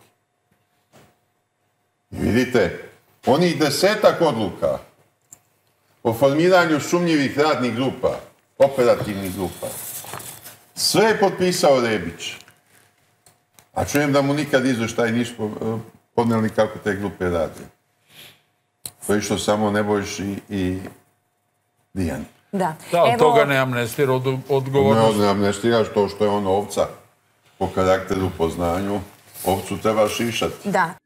Da li je Dijana Hrkalović igrala dvostruku igru? Spomenuli ste da je možda štiti neki strani faktor, da li CIA, da li Mossad, Amerikanci, Izraelci. Gde je došlo do kuršusa je jedno pitanje između Dijane Hrkalović i Aleksandra Vučića. Drugo pitanje, kakve su veze Dijane Hrkalović sa stranim obaveštenim službama i kada dolazi do kontakta Dijane sa, sa njima?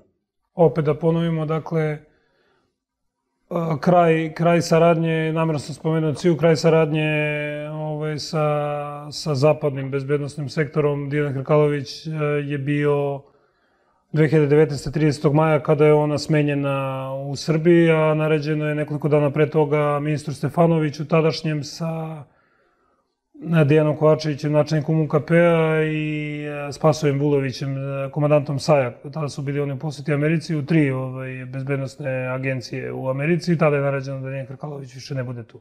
To je To- samo kraj. to je A a kad je početak? Početak je kada strane obaveštene službe koje sarađuju e, sa Srbijom, ali ne samo, ne govorimo o stranim obaveštenim službama, nego i o, stranim policijskim službama. Mhm. Dakle, to je normalna saradnja koja se stalno odvija i ovo je isto normalna, ali obaveštajna ovaj, saradnja. Kada te službe pokušavaju da sa Srbijom sarađuju i sarađuju nekoliko puta uspešno, ali onda vide da se u Srbiji nešto dešava čudno i da, da te informacije koje, koje dobija srpska policija cure. A onda se dešava i to da u sukobu između dva klana se ubistva i Srbije i Crne Gore prebacuju u inostranstvo. Dakle, da imamo ubistva u Austriji, imamo ubistva u Nemačkoj i na, e, na kraju i, u Grčkoj. I je pokušaj već- ubistva u Ukrajini. Da, da, pokušaj ubistva u Ukrajini, dakle, to je već, to je već Evropska unija. Govorimo o, o ove tri zemlje, gde svi shvataju konačno da je, da je centar toga MUP Republike Srbije. Dakle, MUP Republike Srbije i naravno BIA koja sve to kontroliše svih ovih godina. Dakle, ne možete, ne možete, ne može postojati paralelni sistem moći u MUP-u bez znanja bije. Ja moram da kažem... e, Ali kad te neko napadne, moraš da se braniš. Ja sam ovako što se... Ovo, ovo su ko zna koji izbori. Ne možeš da se smeješ. Ovo su mi ko zna koji izbori. Ne, ne, ne, ne mogu više ni da zapamtim. Ja sam vrlo aktivan, od svoje 18. godine sam član bio Srpske radikalne stranke. Ovo 97. ono prvi zvanični izbori da sam glasao. A nikada ovako motivisan nisam bio.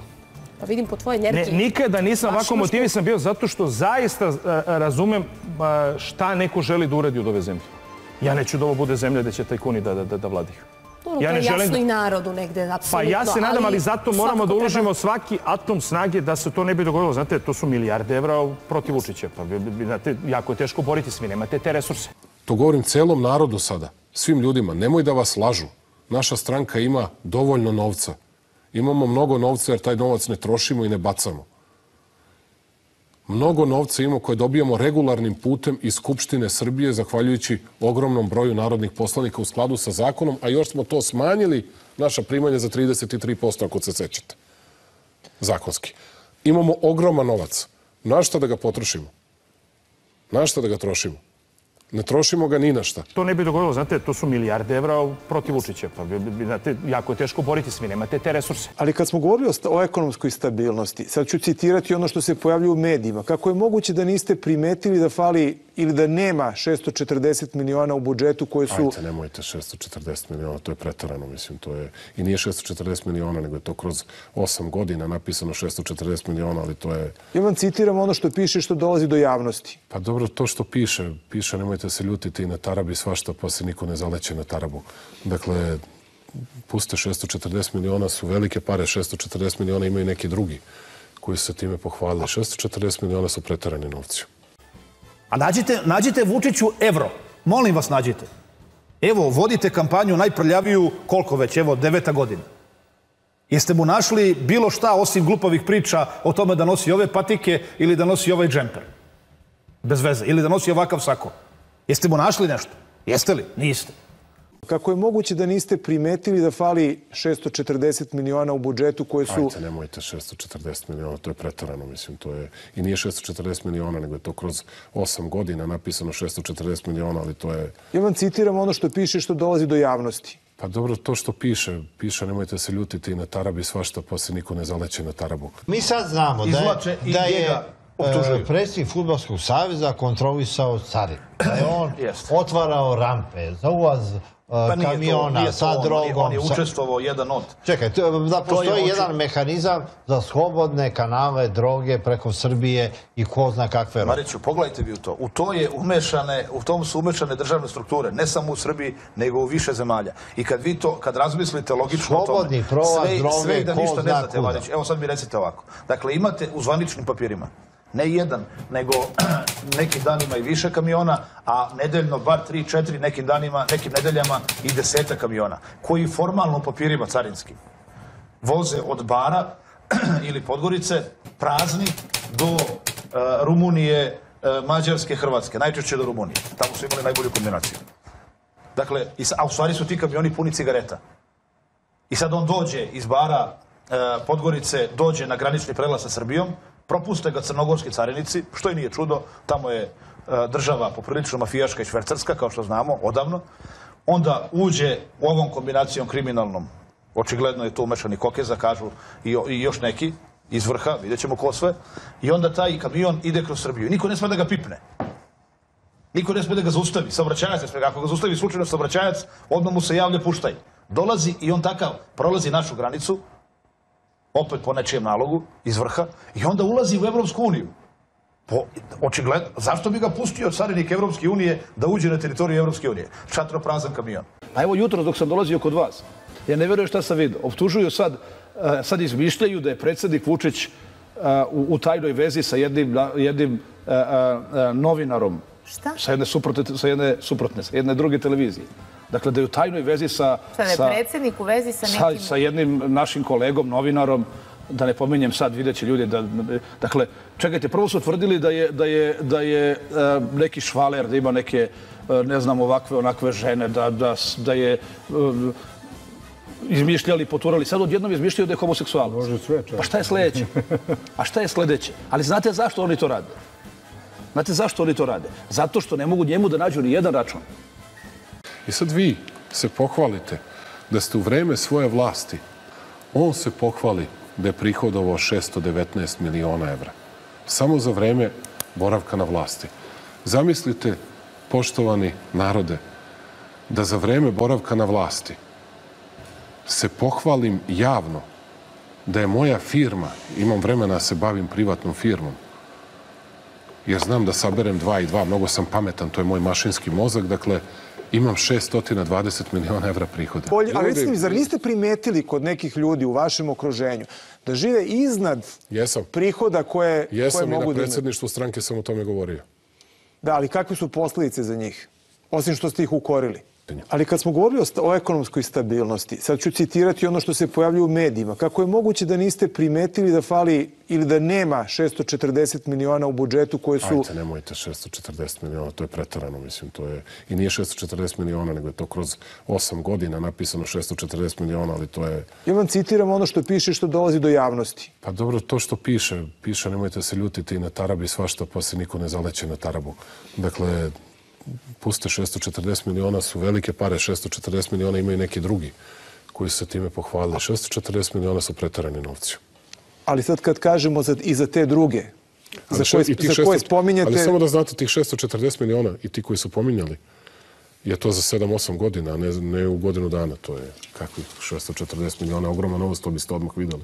Ne bi ova priča o Belivuku krenula da američke bezbednostne strukture, pre svega DEA, koje je borbi protiv mafije i FBI koji imaju svoje instalacije moće su čak od MUPA Srbije, nisu rekli dosta. Ne može ovako da se radi na Balkanu. Ne može da taj afganistanski ili kokainski put iz Crne Gore preko Mila Đukanovića da se ukršta na Prijepolju i, i, i ovaj Jabuci gde je poginuo nekada Boško Buha. Ovaj, i da se ovde prave e, klanovi i mafije škaljačke, kavačke, da ovde rade šta hoće. I jednostavno vi ako hoćete, on je rekao, e, zapadne službe su rekle, američke predstavniče Srbije, ako vi želite da, da budete ovaj Escobar ili Noriega, radite, ali mi to nećemo da dozvolimo zbog svojih interesa. Prema tome Zapad je upozorio predsjednika Vučića i predsjednik Vučić je upalio lampicu i video da i među svojim saradnicima ima danajce. Vučić je poznat po tome da gotovo nikad ne pušta svoje ljude niz vodu. Čak i kada se uh, uveri da su oni zaslužili ne da budu pušteni niz vodu, nego da budu pušteni ispod vode. E sad, bit će jako zanimljivo, bit će jako zanimljivo i nadam se da će biti jako bolno po cenu da se na sledećim izborima ne prođe dobro, ali da se pre svega pokaže i da se narodu pošalje poruka sledeće sadržine. Ljudi koji su kukolj moraju da budu odstranjeni bez obzira na političke posledice, jer taj kukolj nije samo stvar koja će uništiti njega lično, već je taj to kukolj koji uništava sve nas lično. I najbolji način da svom narodu pomognete je da ljude koji čine zlo iz sobstvenog okruženja se lišite. Ne postoji brat, ne postoji otac, ne postoji najbolji prijatelj, te ne postoji brat, te ne postoji brat. Ljudi iz njegovog najbližeg okruženja već godinama učestvuju u pričama koje su sada na kraju postale očigledno premije. Pa, premjerni film koji će se a emitovati i u čini Skoplju. se da i- Da se razumemo, Vučića oni ne vide kao prijatelja.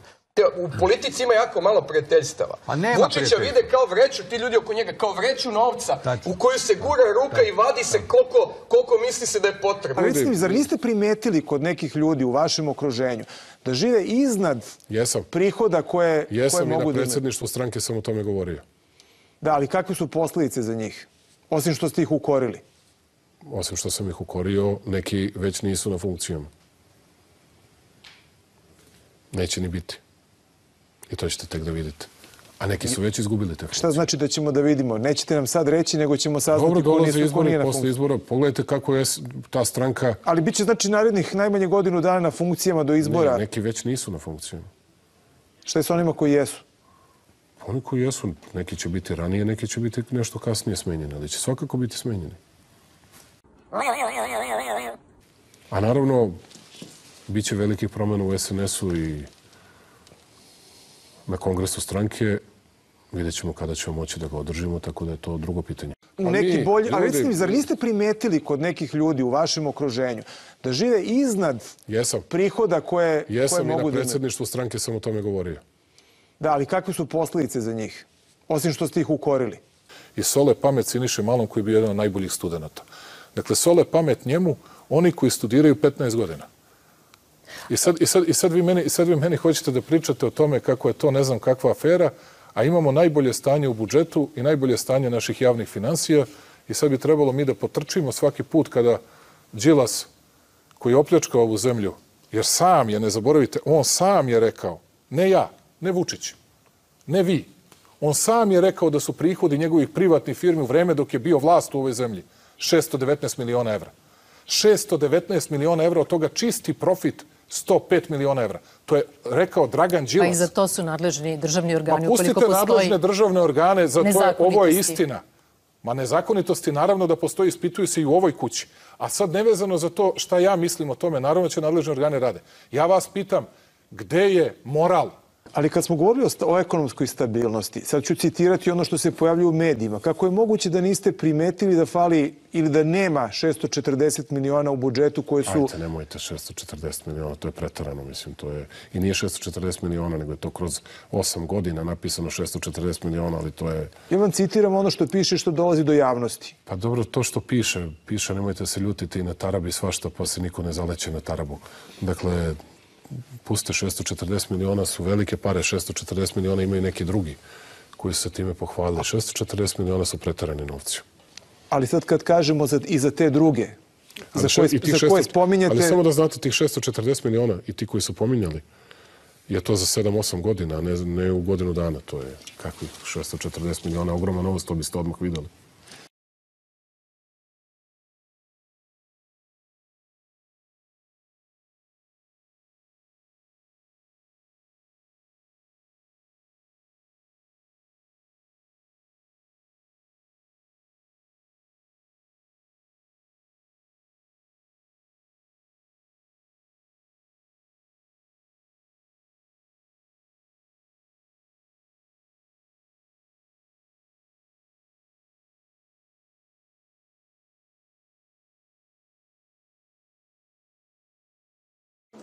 Na kraju sve ispliva na videlo. Zaklala se zemlja raju da se sve tajne doznaju. Gospodin Aleksandar Vučić sa svojim sinom e, došao je u Slovačku da bodri Crvenu zvezdu u vrlo e, teškoj situaciji kada je Zvezda u Beogradu izgubila 2 prema 1. Što je vaše očekivanje? Moj sin je veći optimista nego ja, ali veći optimista nego ja, ali sve jedno. Sve najbolje. Želim. I evo da vas ja sad pitam, kažete mi, a šta sam to ukrao negde? A gde to imam nešto, a da nisam imao 2012. godine? I sad ćete da vidite kakvi su to lažovi. Kažite mi to za članove porodice. Uže, šire, šta god hoćete. Nema ništa. Mi danas e, ćemo pokušati da budemo efikasni otvarajući nešto što mi nazivamo dosije Slaviša Kokeza. Dakle, taj čovek je ušao u biznis 2012. godine formirajući svoju firmu koja se zove ProInter. Takođe, Kokezina firma ProInter je uspela da kupi Eurosalon, nekada gigant e, industrije nameštaja u Srbiji, za 190.000 evra. Da bi samo zgradu na sajmu u Beogradu za potrebe Beograda na vodi prodao državi za čak 16 miliona evra. I naravno, kao dragulj u kruni Slaviše Kokeze je preduzeće Win-Win, koji je povećao prihod sa 5 na 150 miliona evra od kad su Srpska napredna stranka, od kad su na vlast. I on je prodat Tehnomaniji za ogroman novac. U periodu od 2013. do 2017. godine samo dve kokezine firme sa državom su potpisale preko 200 ugovora, vrednih 52 miliona evra. Samo od elektroprivrede Srbije Kokezina firma je dobila preko 50 ugovora, firma ProInter uvećala je tako svoj prihod za fantastičnih 350 puta za 7 godina postojanja. Sa 150.000 evra u 2011. na 52 miliona evra u 2016. godini. A nikada ovako motivisan nisam bio. Pa vidim po tvojoj Ne, energiji. nikada nisam Baš ovako motivisan bio zato što zaista a, a, razumem a, šta neko želi da uradi od ove zemlje. Ja neću da ovo bude zemlja gde će tajkuni da, da, da, da vladaju. Dobro, Ja to ne je želim jasno da- i narodu negde, Pa apsolutno. ja se nadam, ali zato moramo da uložimo treba- svaki atom snage da se to ne bi dogodilo. Znate, to su milijarde evra protiv Vučića.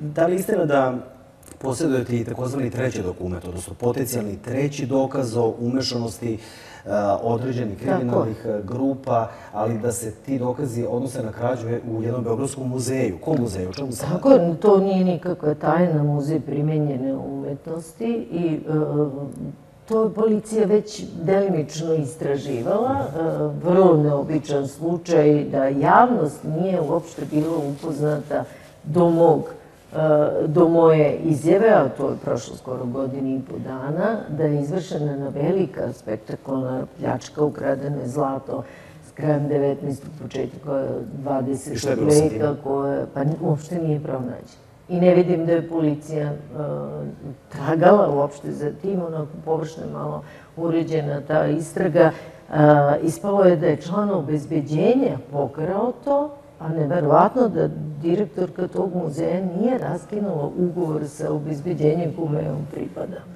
Na Dakle, koga vi zaista tu jedna onda, onda Vidim da se ne, od- izražavate pohvalno ni o, u, o policiji. Ne, ne, ne, pa ne izražavam se, to mi je velika sumnja da li je neko uopšte uradio taj slučaj tako kako je trebalo, jer kako je moguće da je nestalo toliko artefakata, fotografije postoje u ministarstvu, E, Sama direktorka Muzeja primenjene umetnosti je prijavila ministarstvu tek 90 meseci posle krađe, tvrdeći da su inspektori rekli da ćuti, da nikom ne govori, radi istrage, ali time se samo izgubilo na, na vremenu, jer kada je nešto sveže i još nije izneto iz države, možda može da se nađe u našim granicama, to je veoma skup nakit, postoje ne, ne, to, to su zlato, dijamanti.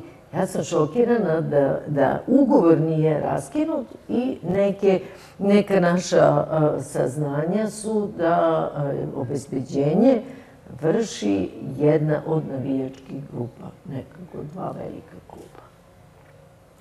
Jedna od nevijačkih grupa. Da. Slučajno je došlo e, do toga, niko nije mogao da pretpostavi da su ove organizovane kriminalne e, grupe koje predvode e, ova lica sa na- naslovnih strana toliko daleko pustili pipke da su došli čak i u neke delove kulture ili da su uopšte imali neki dodirnih tačaka sa, sa Ministarstvom kulture i sami zaposleni kada su videli naslovne stranice su mi doneli određene e, predmete. Bila sam šokirana kada sam videla da su potpisnici određenih ugovora a, ljudi koji se ovde a, etiketiraju kao vođe, vođe mafije. Sama mafija nigde ne postoji u svetu ako nema spregu sa određenim ljudima i određenim nivoima vlasti i ovo na šta sam naišla uz pomoć zaposlenih ljudi Ministarstvu kulture i informisanja nije moglo da se završi, a da neko o, u samom ministarstvu nije učestvovao u tome. Kako je došlo do toga da na određenim uh, ugovorima osvanu otvoreno potpisi ljudi koji se Njihovi ovde potpisi? nalaze. Da. A da li e, je potpisnik sa druge strane, e, su, su bile kolege koji su sedale na vašem mestu pre vas kao ministri kulture ili njihovi ne, niži nema potpisa, ali očigledno da bez pomoći nekoga iz Ministarstva kulture to nije moglo da se završi. Ali pretpostavljam da će se to sve otkriti, jer vidim da se spomenju već neka, neka mesta, neki poslovni prostori, eto toliko mogu da kažem. Pojasnite nam, kako je moguće da, maltene, da nema, nema sfere društva i, i da su malobrojne kompanije gde kriminal nije ušao? Kako je to moguće? Pa, Moguće ako e, na određenim mestima imate ljude koji se polakome na novac, ima imate ljude koji se polakome na novac, koji se polakome na novac Mislim da je to osnovni motiv. e, Na rukovodećim mestima, ljudima, da, na rukovodećim mestima. Na rukovodećim mestima. Isključivo. E, Sama direktorka Muzeja primenjene umetnosti je prijavila ministarstvu tek 90 meseci posle krađe, tvrdeći da su inspektori rekli da ćuti, da nikom ne govori, radi istrage, ali time se samo izgubilo na, na vremenu, jer kada je nešto sveže i još nije izneto iz države, možda može da se nađe u našim granicama, to je veoma skup nakit, postoje ne, ne- to, to su zlato, dijamanti. Ja sam šokirana da, da ugovor nije raskinut i neke, neka naša a, saznanja su da a, obezbeđenje vrši jedna od navijačkih grupa, nekako dva velika kluba. Jedna od nevijačkih grupa. Da.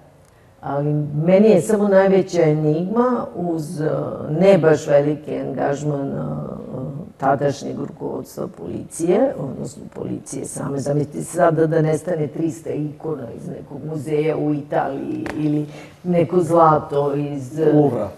iz Luvra ili tako nešto. Koliko bi pažnje država uh, dala na, na, na to ili bi ti predmeti bili svuda objavljeni, a ovde onako ništa se nije desilo, a jedno lice je uh, da li se vodi postupak ili osuđen, čak nemamo ni, ni, ni do kraja razjašnjene okolnosti u kom pravcu je išao, išla ta istraga, nije raskinut ugovor i dalje ti ljudi vrše obezbeđenje muzeja. Sada, sada je promenjen uh, Čekajte, i dalje ili, ili I ne vrše? Ne, i, I dalje, i dan i dalje, I dan danas. dan danas.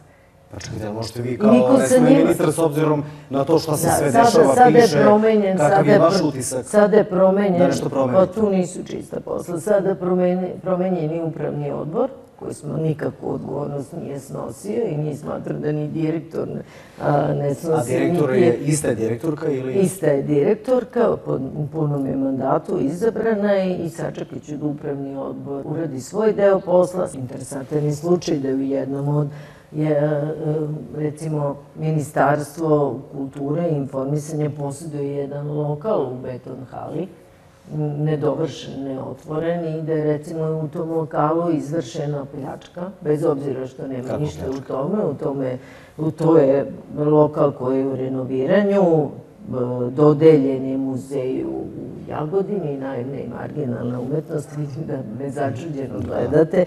I tu je ukraden potpuno nov kupljen lift koji košta oko 15-20 i hiljada evra. Volšebno su ugašene kamere, istraga kao da je nikada nije ni bilo. A kada se to dogodilo? To je slučaj iz koje godine? To, to se dešavalo pre jedno dve godine. Po spisima bi tako rekao.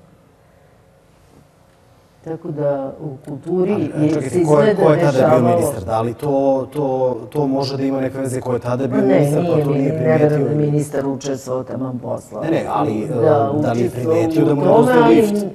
Prijavljivano je, ništa se nije dešavalo. I neverovatno je da kako se nešto u beton hali dešava, kamere budu isključene i posle nema nikakve istrage, dobijete jedan papir, koliko ja vidim u onim spisima, da uzeta je izjava da su ovi ljudi, čuvari tog lokala, tvrdili da je ukradeli i ti ništa više, na tome se završi. Kao da dobijete revers da ste dali cipale na popravku.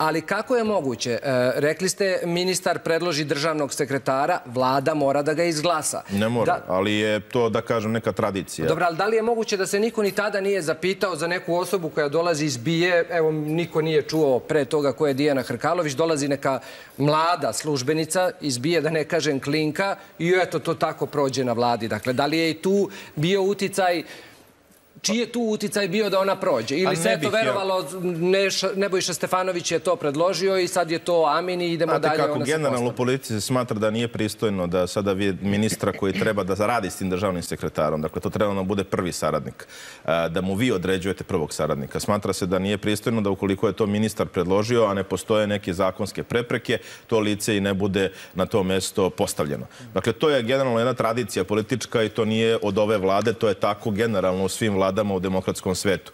Redko kad se desi, dakle, da se neko odbije i ako se utvrdi da postoje zakonske prepreke, onda se unapred kaže ministru da te prepreke postoje pa da i ne predlaže na vladi. To je jedna stvar. Druga stvar, dakle, I generalno to jeste jedan dobar princip, jer taj ministar treba da sarađuje s tom osobom i on u principu i treba da bude saglasan s tim s kim će da radi, ne da mu se nameće prvi saradnik. Pa je li onda ne- sad ne ja- najveća odgovornost na tom ministru onda? Kažem ja, treba ispitati apsolutno odgovornost ministra u svakom smislu. Dakle, zbog čega je to uradio, to morate njega dovesti popitati. Dakle, zbog čega je to uradio, ga, ali, zašto je to... ali ne možemo da se dogovorimo, ne, nema, nema slobodan termin za, dakle- za nas. Ali, dobro, uvek je to, e, treba ispitati ministra. Ja mislim da je to rečenica koju velika većina naših gostiju ovde izgovara poslednjih šest meseci. Možda čak i duže. mo- Od hapšenja Belivuka. Pa moguće, ali mi se ali- čini da e, ja viđam Nebojšu Stefanovića koji potpuno normalno obavlja e, Pa ne posao, tvrdim ja da je on za bilo vodi šta kriv. ministarstvo sile. Pa da, ne tvrdite, ali mu se ime Ja samo, vrlo često ali, ali provlači. tako sam govorio, tako sam govorio, pa logično je da se povlače kada je bio na čelu ministarstva kad se sve ovo dešavalo. Pa dobro, ali Nemoguće šta da će, dobro, ali šta će staviti tačku na priču o Nebojši Stefanoviću? Jer ovo je sada Nadležni organi. Dakle, ako nadležni organi budu utvrdili da nema osnova da se bilo šta tu procesuira, ja koliko znam, on je i davao izjave u ovim postupcima. Dakle, ukoliko se utvrdi da tu nema šta da se procesuira, onda ćemo reći u redu, utvrđeno je da nema i gotovo. I Dijana Hrkalović se pominjala jako dugo, pa je takođe bilo, sada ste me zvali predvenje, pa ste me pitali što se Dijana Hrkalović toliko dugo pominja, a niko ništa ne Niko radi. ništa ne Evo sad da. je privedeno odvađen pritvor. I Tako ovako da, je, ovako je rečeno. Dakle, e, u njenom stanu u sefu pronađeno je 50.000 e, evra. Advokat Dijane Hrkalović, e, Seat Spahović, tvrdi da su optužbe neistinite, da mediji objavljuju netačne e, informacije. Dakle, jedna od netačnih je upravo i to da je pronađeno 50.000 evra i tvrdi da je oduzeto samo oružje za koje ima dozvolu. Dakle, e, ona je zadržana u pritvoru, čini mi se da je to naslovna strana danasa, evo ga. Dakle, u pritvoru je da ne bi uticala na policajca, a dve godine ne radi u e, policiji. To kaže Nenad Tasić, advokat bivše državne sekretarke MUPA Dijane Hrkalović.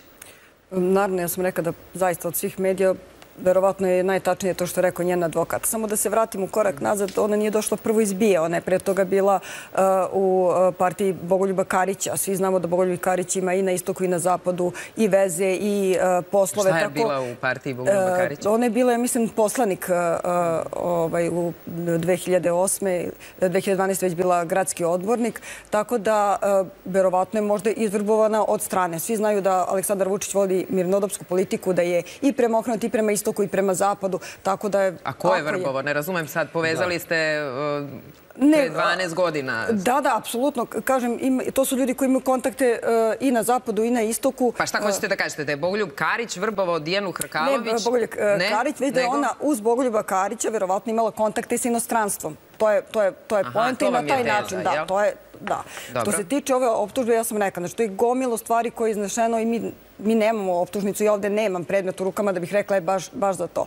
50.000 evra dalje imala, nije imala i nije neka cifra i zašto bi neko držao to kući, iskreno rečeno. Zašto je pretresen stan tek sada? Zašto je do- dobilo 5 dana? To su opet pretpostavke koje iznose medije na koje mi ne možemo apsolutno da, da budemo sigurni da su, da su tačne. Da li ona uticala? Otkud vi znate da ona nije zadnjih godinu dana uticala i baš zbog toga se prolongiralo njeno hapšenje. Možda upravo vršenjem uticaja ili trgovina uticaja, zašto se spe, spekuliše da je, da je ovaj, jedna od optužbi, upravo e, trajala godinu dana, zbog čega je trajalo i to njeno, njeno hapšenje. Zašto ona nije pre četiri godine hapšena? Možda upravo zbog toga. Možda su oni upravo otkrili da ona vrši uticaj i zbog toga je i zatvorili na mesec dana. Znači, to su opet službe koje moraju da kažu zbog toga i toga i na pravilan način da se optužnica znači formuliše. Ja ovde veliku nadu ulažem u tužilaštvo koje često, često, jako policija odradi dobar posao, ne samo u ovom slučaju, u bilo kom slučaju, zna da loše formuliše sam predmet i samo otpužu. Ja se nadam da će ovog puta uraditi tačno po dokazima onako kako je operativni rad policije dokazao. I dobro, i sad, o, čiji je ovo operativni rad što mi sad e, gledamo slike Dijane Hrkalović u Donjem Vešu? Šta se time pokušava i od kakvog je to značaja sad za, za policijsku istragu što mi gledamo nju u Donjem Vešu, pričamo ovde o njenim perverzijama? Šta, kako se to može odraziti i da, da li može, da li treba njen, ajde da kažemo da to je bio njen privatni život, ovo, ovaj deo, šta sad mi time dobijemo? Pa to pitajte meni. Meni zaista nikad nije jasno zašto se razlače bilo čije, pogotovo žene. E, Nije to prvi put. Ranije smo imali isto, ja mislim, iz Ministarstva unutrašnjih poslova neku savjetnicu koja se razlačila po novim. Da li se ona slika ili ne slika, ja ne znam kome je to interesantno. Valjda je ljudima to mnogo interesantnije nego da kažu, e, deca su vam bezbedne, manje ima droge jer je Belivuk uhapšen. Pa dobro, interesantno je u smislu kome je slala te fotografije. Šta to dokazuje? Da je bila s nekim u vezi.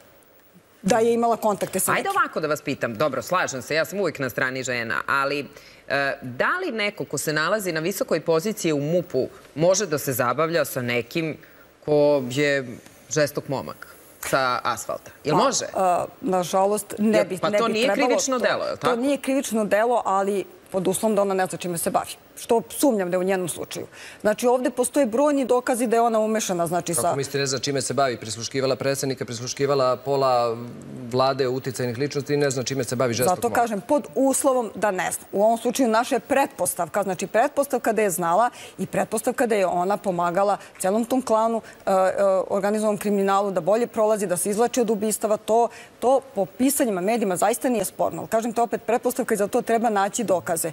Od telefona, od dokaza. E, pretresli su i stan. Za ono zašto je ona optužena, nije bilo potrebe da se pretresa stan. Ona sigurno nije držala telefon e, ovaj, e, u, u, svojoj kući. Znači, dokazi zna se gde stoje. To su, kažem, sve pretpostavke i ja Pa bih... da, ali da li su i pretpostavke... Dakle, sve nas je potreslo ubistvo advokata Ognjanovića. To se desilo, nije važno, u, nije u sred bela dana, ali kad, koliko je bilo? 11, 12 uh, noću čovek u tom trenutku ima malu bebu, advokat je, dakle, nije reč o kriminalcu, ubijen je ispred svoje zgrade. I danas... Čak i sina, mislim, bio prisutan. I je- sin, tako je, da.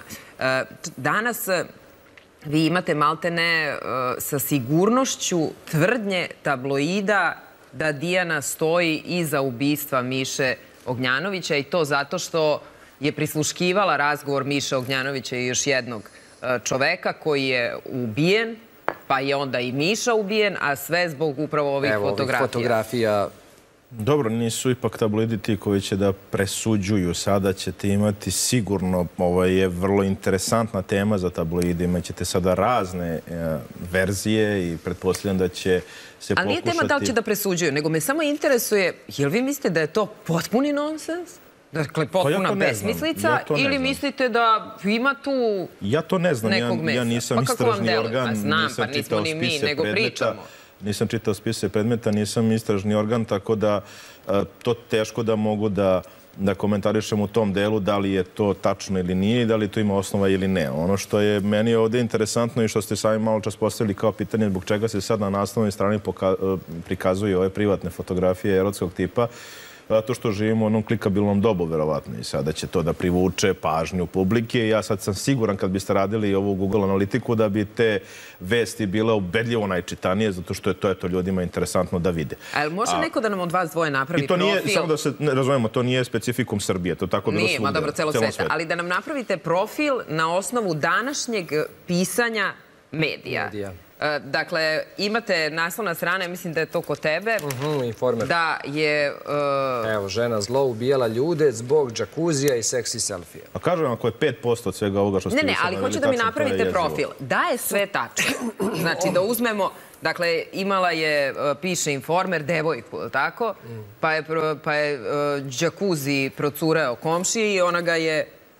Zvala i, pripret, i pretila. Ja mislim da je to preterano, ali vi morate da znate, ljudi koji se bave e, visokim kriminalom, to su uglavnom sociopati ili psihopati. Ne, ne, ali vrlo... Ako pričamo o psihološkom profilu. Kako mi se Psihološki- preterano, ali ovaj čovjek, izvini Jovan, ali ovaj čovjek o, o, o kome se priča, tačno u ovom slučaju, on je ubijen isto. Pričamo o I što Dijani je jedan ne od pričamo... žestokih momaka. Jeste, ali ja ne znam o, o kom čoveku se radi, nisam zaista. Ali ako pričamo o Dijani Hrkalović, a, ove slike možda pokazuju da ona zaista jedan ekstrem, ekstrem od, od žene koja je pre, preveliku moć imala u svojim rukama, a svi znamo da visokim kriminalnim radnjama, znači koriste... Da, ali nisam to htela da vas pitam, nisam ni završila pitanje. Htela sam da, htela sam da vas pitam, da mi napravite profil na osnovu svega ovoga što danas piše, da uzmemo kao pretpostavku da je tačno.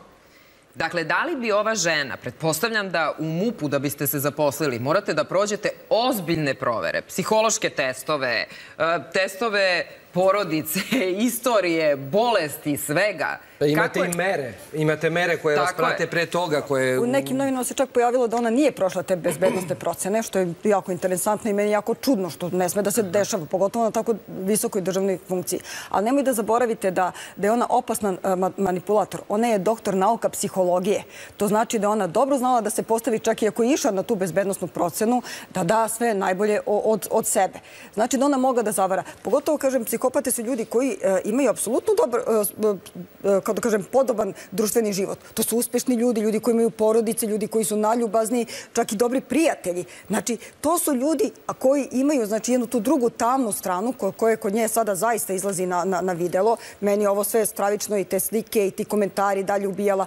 Malo je tu i... Koje slike su vam stravične? Uh, pa i te sa slikama, da, da li je se slikala u kancelariji, u halteru, u gaćicama, to je stvarno sramota za jednu državnu instituciju. Sramota je da uopšte, meni je žao, došlo je do degradacije, vi u državnoj upravi imate i način oblačenja i način ponašanja. Ona je to sve srozala. Ali to je ono što upravo kažem, dali ste jednom detetu bez možda adekvatne bezbednostne procene, koja je izuzetno inteligentna, to, to nemojte da, zna- znači doktor nauka psihologije, koje koristi te psihološke metode i za ubiđivanje ljudi, za korišćenje ljudi. Znači, to je njena psihološka procena, barem po mom ličnom iskustvu.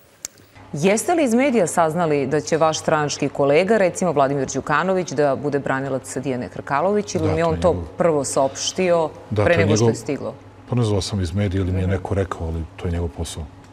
Dobro, ja sam sigurna da, da vi ne birate njemu klijente, ali me zanima koliko da to bilo nanosi štetu Srpskoj naprednoj stranci. Zbog čega bi nanosilo štetu našoj stranci? Kako zbog čega? Dakle, zaista mislite da neko iz SNS treba da brani Dijanu Hrkalović? Posle svega, zašto Mislite je da ona treba, optužena? mislite da treba da zabranim nekome iz SNS-a da radi svoj posao, profesionalni posao? Dakle, to nije bilo moje Đukanović, pitanje. Đukanović ima decu, hvala Bogu. Sre, srećan sam i ja što on ima četvoro deca, on mora da izdržava svoju decu. Dobro, dobro, On to prvo- nije bilo moje pitanje da li vi treba da branite ili da ne branite, da, da li to nanosi štetu u vašoj stranci. Čak i da nanosi, nemam pravo, nemam pravo da reagujem na to.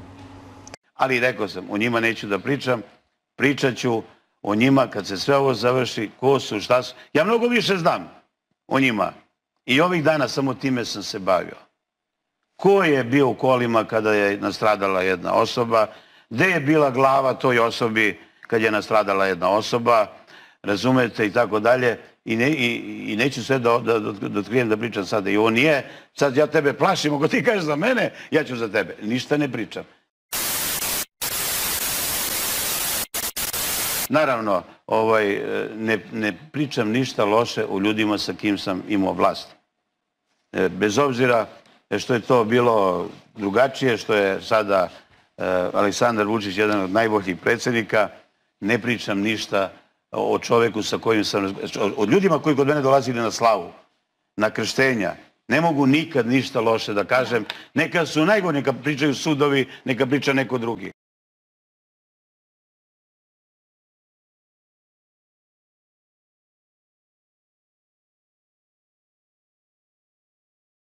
Kad već pominjete i vladu i ljude u vladi pa i u vrhu stranke, ko su ljudi u vrhu stranke koji su povezani sa uhapšenim ubicama i kriminalcima, a to pomenju vaši, takođe vaše kolege iz vrha vlasti, govore o nekim ljudima koji su koji su povezani, samo ih ne imenuju. Ja večeras, ja večeras moram da govorim pre svega kao predsjednik Republike i...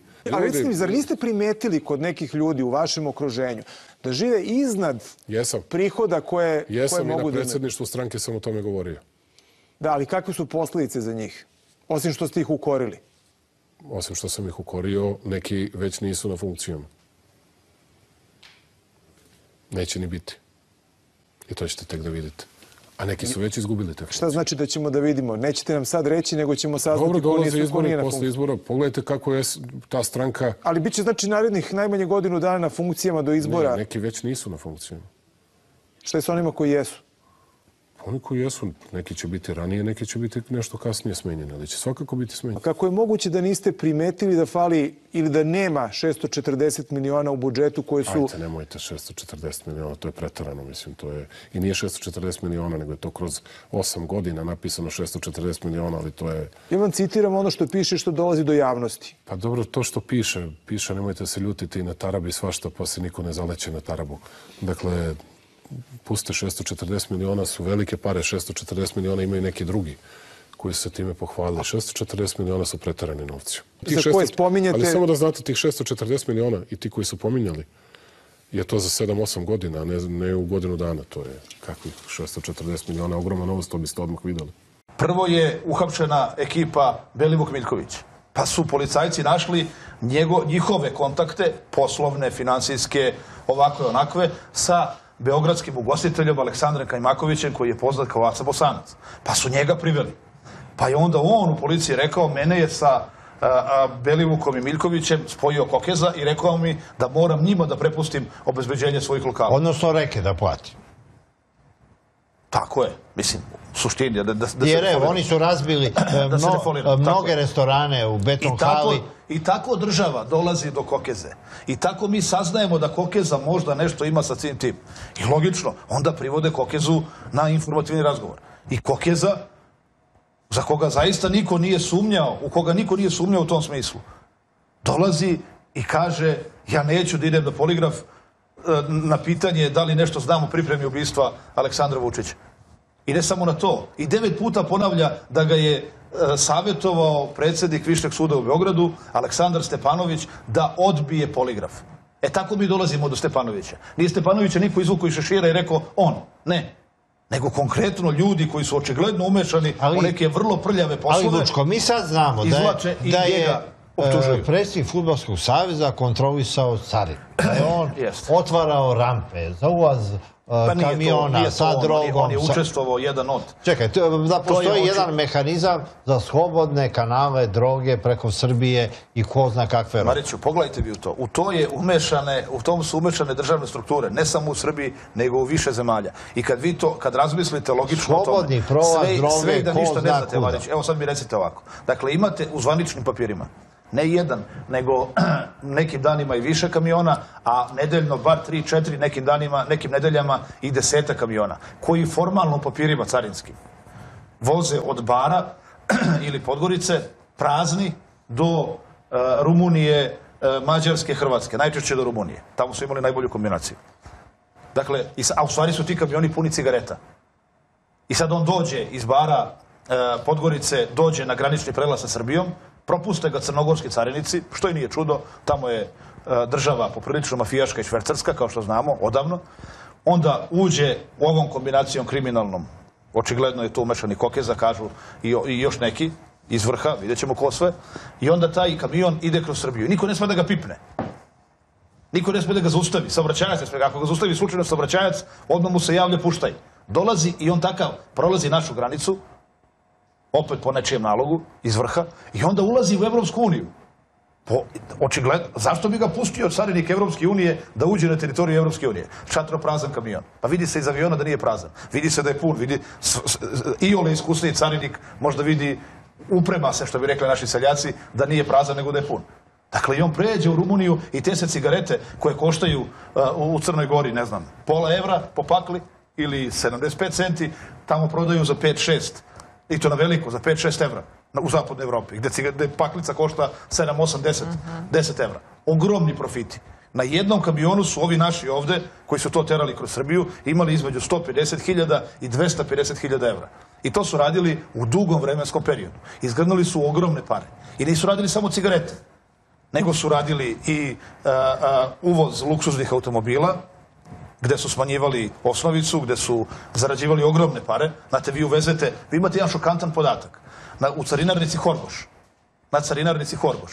Prosečna cena u poslednje dve ili tri godine, poslednja, prosečna cena od carinjenog vozila je e, e, skoro, sko- više od dva puta manja nego prosečna cena od carinjenog vozila u carinarnici Niš.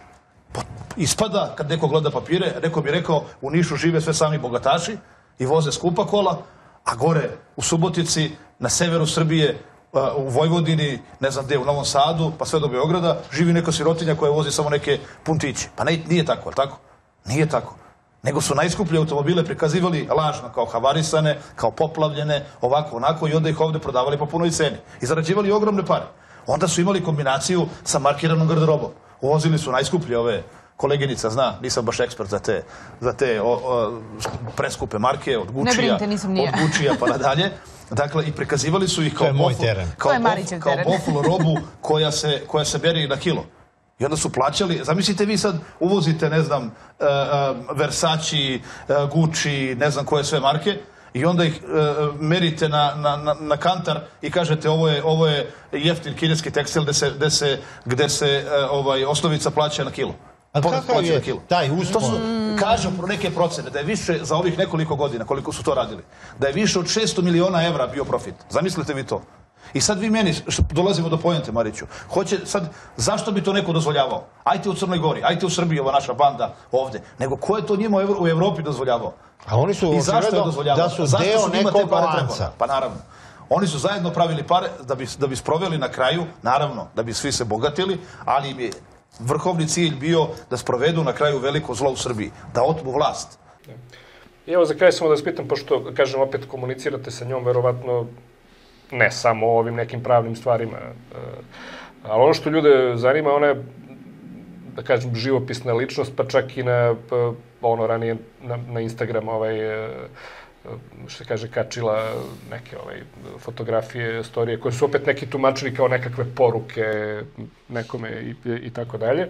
Ovaj, e, e, kako ona sad živi, gde živi, čime se, čime se bavi, šta, šta radi? Najnormalnije, sad, evo, to, e, tu anegdotu, to vam moram ovako ovaj, da, da, da ispričam. Znate, sa nju se vezuje razno razne stvari kad vi čitate po ovim novinama, da je, ne znam, naručivala ubistvo. I, to je najviše, najviše pogađa pre svega što neko povezivo da je radila nešto protiv porodice Vučić, posebno protiv Aleksandra Vučića, jer evo, mogu da kažem, znači, ona protiv Aleksandra Vučića u životu ne bi radila ništa. Nikada. I sad mi je zaista deluju smešno pojedini mediji koji su valjda očekivali da će ona... Čak i ako joj je naređeno... Nema, da ona zna da ide nešto protiv Aleksandra Vučića, teorije nema da bi nešto uradila. Da li njoj neko prikrivao, pa ona možda i nesvesno, negde, ne, to je nešto drugo, ali ona lično protiv Aleksandra Vučića u životu ne bi ništa nikada uradila i do te mere je lojalna. Ili da je naišla na nešto, ne bi ćutala. Do te mere je lojalna da to nemoj da imate nikakvu dilemu. I tu je e, kolega koji inače prethodno bio njen vranac, gospodin Spahović, apsolutno u pravu. I mora kažem, a, a, gospodin Spahović je nju veoma dobro pripremio. Mogu je da se ne slažem u životu politički sa gospodinom Spahovićem, ali ta kancelarija je vrhunska kancelarija i oni su odlični advokati i mogu da kažem da su izuzetno, izuzetno dobro branili. Znači, mora priznati da mi žao što nisu i dalje u postupku, zašto ona tako htela, to je sad već na, na njoj, ali, ali ovaj, e, oni su... Spomenuli ste anegdotu neku. Da, e, stalno se vezuje da ona naručivala neka ubistva. Mislim, znate, št, e, to je druga stvar koja se najviše pogađa. Prva je ta za Aleksandra Vučića, jer prema njemu osjeća izuzetnu, što bi se reklo, lojalnost i, i strah, i, i neku vrstu, ajde, kažemo, pravog, onog istinskog poštovanja. A druga stvar je to što je vezuju da je naručivala neka ubistva, kaže, znate, šta, šta će pomisliti neke porodice da sam stvarno nečije ubistvo naručila. Mislim, to je, baš, to je, baš je to pogađa, onako, kad se priča i Ovaj, ja sad njoj kažem, prvi put kad smo se videli, rekao, pa vidiš šta sve piše, tebi bezbedne sediš ovde u pritvoru, nego da si napolju. Međutim, ne, ona vrlo hrabro a, izađe, prošeta, svi znaju gde živi Vojvode Stepe tamo, uopšte ne krije. I ja rekao, pa kako, mislim, bezbednost kaže, vidi, ja sam pred Bogom čista. Nigde ja nikom nikakvo ubistvo niti naručila i to sve te mafije ovog sveta dobro znaju. Znaju oni ko je njima, ko šta, koga ubio i da to nikakve veze sa mnom nema. A to što neko pokušava tako da pripiše, e, to je sad već očigledno uvek ajde da prebacimo na nekog drugog nešto. Tako da ona po tom pitanju, i čak mi je jednom momentu rekla, to kaže, ja se smrti ne plašim. Plašim se samo života, to je da neko meni blizak, bez veze ne nastrada zašto neko lago i pisao po štampi to što je pisao. To je bila krajnje onako, krajnje ovako iskrena i šta da vam kažem? Ona na svim mojim snimcima, fotografijama kad dolazi na, na, u sud, deluje uvek, uvek je doterana, deluje raspoloženo. Da. Ona... Deluje, deluje da je u stabilnom po tom pisanju, psihičkom stanju. Što se da... tiče psihe, izuzetno. Znači, tu je čvrsta kao, kao granica. To je... Kažem, to, Ja pravo kažem, negde opet pa sad, ajde, uzmite, medijski označena uzmite kao da ste, nekakva... Da uzmite kažem, sad da ste na njeno, na njeno mesto. Kao nekakva kraljica zla. Ovo, pa, bukvalno, otprilike. bukvalno je tako... Pa evo ovaj- sad, koliko on ima, mislim, nije lepo za, za damu, koliko on ima, 35, 36 godina. Da. Sad, daj, pomislite, hoćete nađete supruga, bilo, ko, ko, ko, ko će vama da priđe, mislim, posle takvog, posle ta, toga što sve je pisalo u štampi. Da, da. Ko će nam priđe? Niko, niko ovaj, svako će se pitati, čekaj bre, o čemu se radi ovde. Ovaj, tako da, a, jako je teško živeti sa tim, a posebno ako je to, ja sad nikad ne, neću do kraja, ovaj, jer kažem, uvek sam po prirodi nepoverljiva osoba generalno. Ali ako zaista to nije istina što je pisano, a, a nekom ste to sve nakalemili, pa možda mislite kako živite osoba. Nosite se sa tim da je o vama pisano sve najgore, što veze sa mozgom možda nema, a, nek, a ljudi vas smatraju za to. I zato ja nekada kažem, vezano za, za, Sve to je za medije, rezultiralo jednom optužnicom. pa rezultiralo optužnicom koja nema nikakve veze sa svim tim što je pisano u medijima. Eto, toliko o tome. A, a, ako zaista postoji negde nešto, čvrst dokaz da je ona zaista to uradila, pa dajte podignite optužnicu, nek se vodi postupak. Nemam ništa protiv. Nemam nameru ni da je branim, niti bilo šta, ona dobro zna šta je u životu radila. Moje je da, kao advokatu, da pružim profesionalno pravne usluge odbrane. To je posao advokata. A sad svako pred Bogom odgovara jednog dana šta je uradio, šta nije uradio. I to je, na, na, to je jedini i najispravniji sud. A vi, neko kaže, vi sad nju, ne znam, branite. Pa moje, to je moj posao, ljudi. Posao advokata se sastoji u tome pre svega da osporava ono što tužilac tvrdi. Da li on pravilno izveo dokaze, da nije pravilno izveo dokaze, da negde pokušate da napravite olakšavajuću okolnost za vaše klijente. To, to je posao advokata. I na kraju kreva da ako nema nikakvih dokaza, da zaista vaš klijent bude oslobođen. oslobođen. A šta je neko zaista uradio? Pa to gore pred gospoda dođite i tamo, tamo ovaj, uh, će vam biti, biti, biti jedini sud. Da, da li ste, ne znam, razgovarali s njom, sami ste rekli, ona je, ona, je, ona je mlada žena, bez obzira na to kako se uh, završi ovaj ceo proces, čak i u slučaju da ona bude, da kažem, osuđena na neku zatvorsku kaznu koja je... Tužilac je tražio, verovali ne, pet godina. Pet godina, da. pet godina, mislim. A da kažem, čak i u toj situaciji, pa to je stvarno ona će u tom, da kažem, po, po, po, po nju najgorem scenariju, ona će biti na slobodi kao mlada, kao i dalje mlada uh, žena. Da li Pa da li imate prišiveno da, da, da ste da. učinili nešto? Imajući to u vidu... Da ste osuđeni da, za... Da. Da li, ona, da li ste nešto razgovarali sa njom u, u smislu da li kako ona vidi svoju budućnost? Pa to jedino ona može da vam kaže, ali ona, pa ste kao doktor psihologije, mislim, pretpostavljam da može mnogo toga da radi i privatno i kako god hoćete. Ona je ona je ljudi vrhunski naučni radnik, vrhunski doktor, vrhunski doktor nauka, vrhunski poznavalac te materije kojom se ba, koje, koje je studirala pretpostavljam da bi svako poželeo negde takvu osobu, pa ako ništa makar za nekog savjetnika u svojoj ordinaciji ili šta god. Ne razume se, nisam, nisam završavao psihologiju, ali kapiram da bi svako angažovao, jer uh, ja mnogo ljudi sam u životu upoznao i ja takvu nadprosečnu inteligenciju moram priznam da sam redko vidio. Ona je izuzetno, izuzetno inteligentna, inteligentna osoba. Vrlo precizna, a, sto puta meri pa onda tek seče. Znači, baš, baš onako, da, da, da ne verujete da to zaista kao tako, kao tako postoji nekde. E sad, sve ovo što se njoj dogodilo, to je... To je, mo, pretpostavljam da je ona sama negde ovaj, preispitujete svoje odluke, šta je radila, zašto je radila. Tako da, ali mora da kažem, um, s obzirom za jednu anegdotu, bilo je baš za taj, aj kažem, poligraf, pa zašto je ona odbila ispričala, to meni da sad ne ulazim u to. Uh, mada danas kaže, otišla bi bez problema. I ona hoće čak da ide, ako treba da idem na poligraf, nije sporno, nego tad je to odbila, upravo iz te neke vrste lojalnosti. Znači, svesna je bila da sebi možda ide na štetu, ali, kaže, ja nisam neko ko je, ko, ko, ko je spreman da a, bilo šta naudi nekim svojim poznanicima ili bar za koje mislila da su joj izuzetno dobri prijatelji, pa možda i više od toga. I zato je tada odbila, na primjer, da ide poligraf, sad ne ulazim o čemu se radi, a ispričala mi je to. Ali danas kaže sigurno bi otišla, jer ovo nema smisla. Znate, tada vas mnogi zaborave. Do juče su vas vizivkali, pozivali. Znate kako ti ide? Tapšali po ramenima.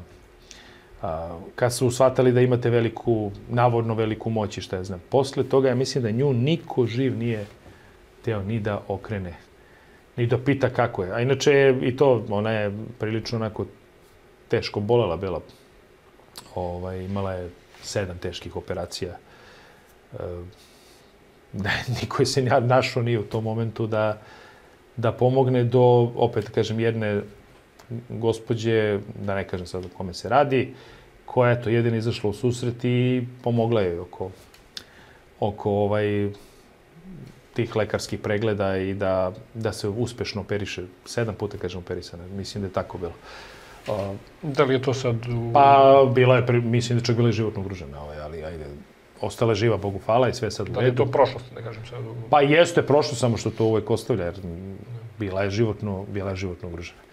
Ali, e, opet, a opet, ja prepostavljam da je ta bolest koja je nastala bila plod upravo svega toga što vi gutate, trpite, čitate to što piše o vama, a nigde ne možete da kažete nešto što bi to demantovalo ili, ili kako god. Stvorena je slika o vama da ste vi zver, najgore na svetu, naručilac ubistava i sve to. Sad. Evo samo još jedno pitanje. Da li ona u bilo kakvoj komunikaciji sa Nebojšom Stefanovićem? Da li je on nekad nju poznao? Sad nije. Sad nije.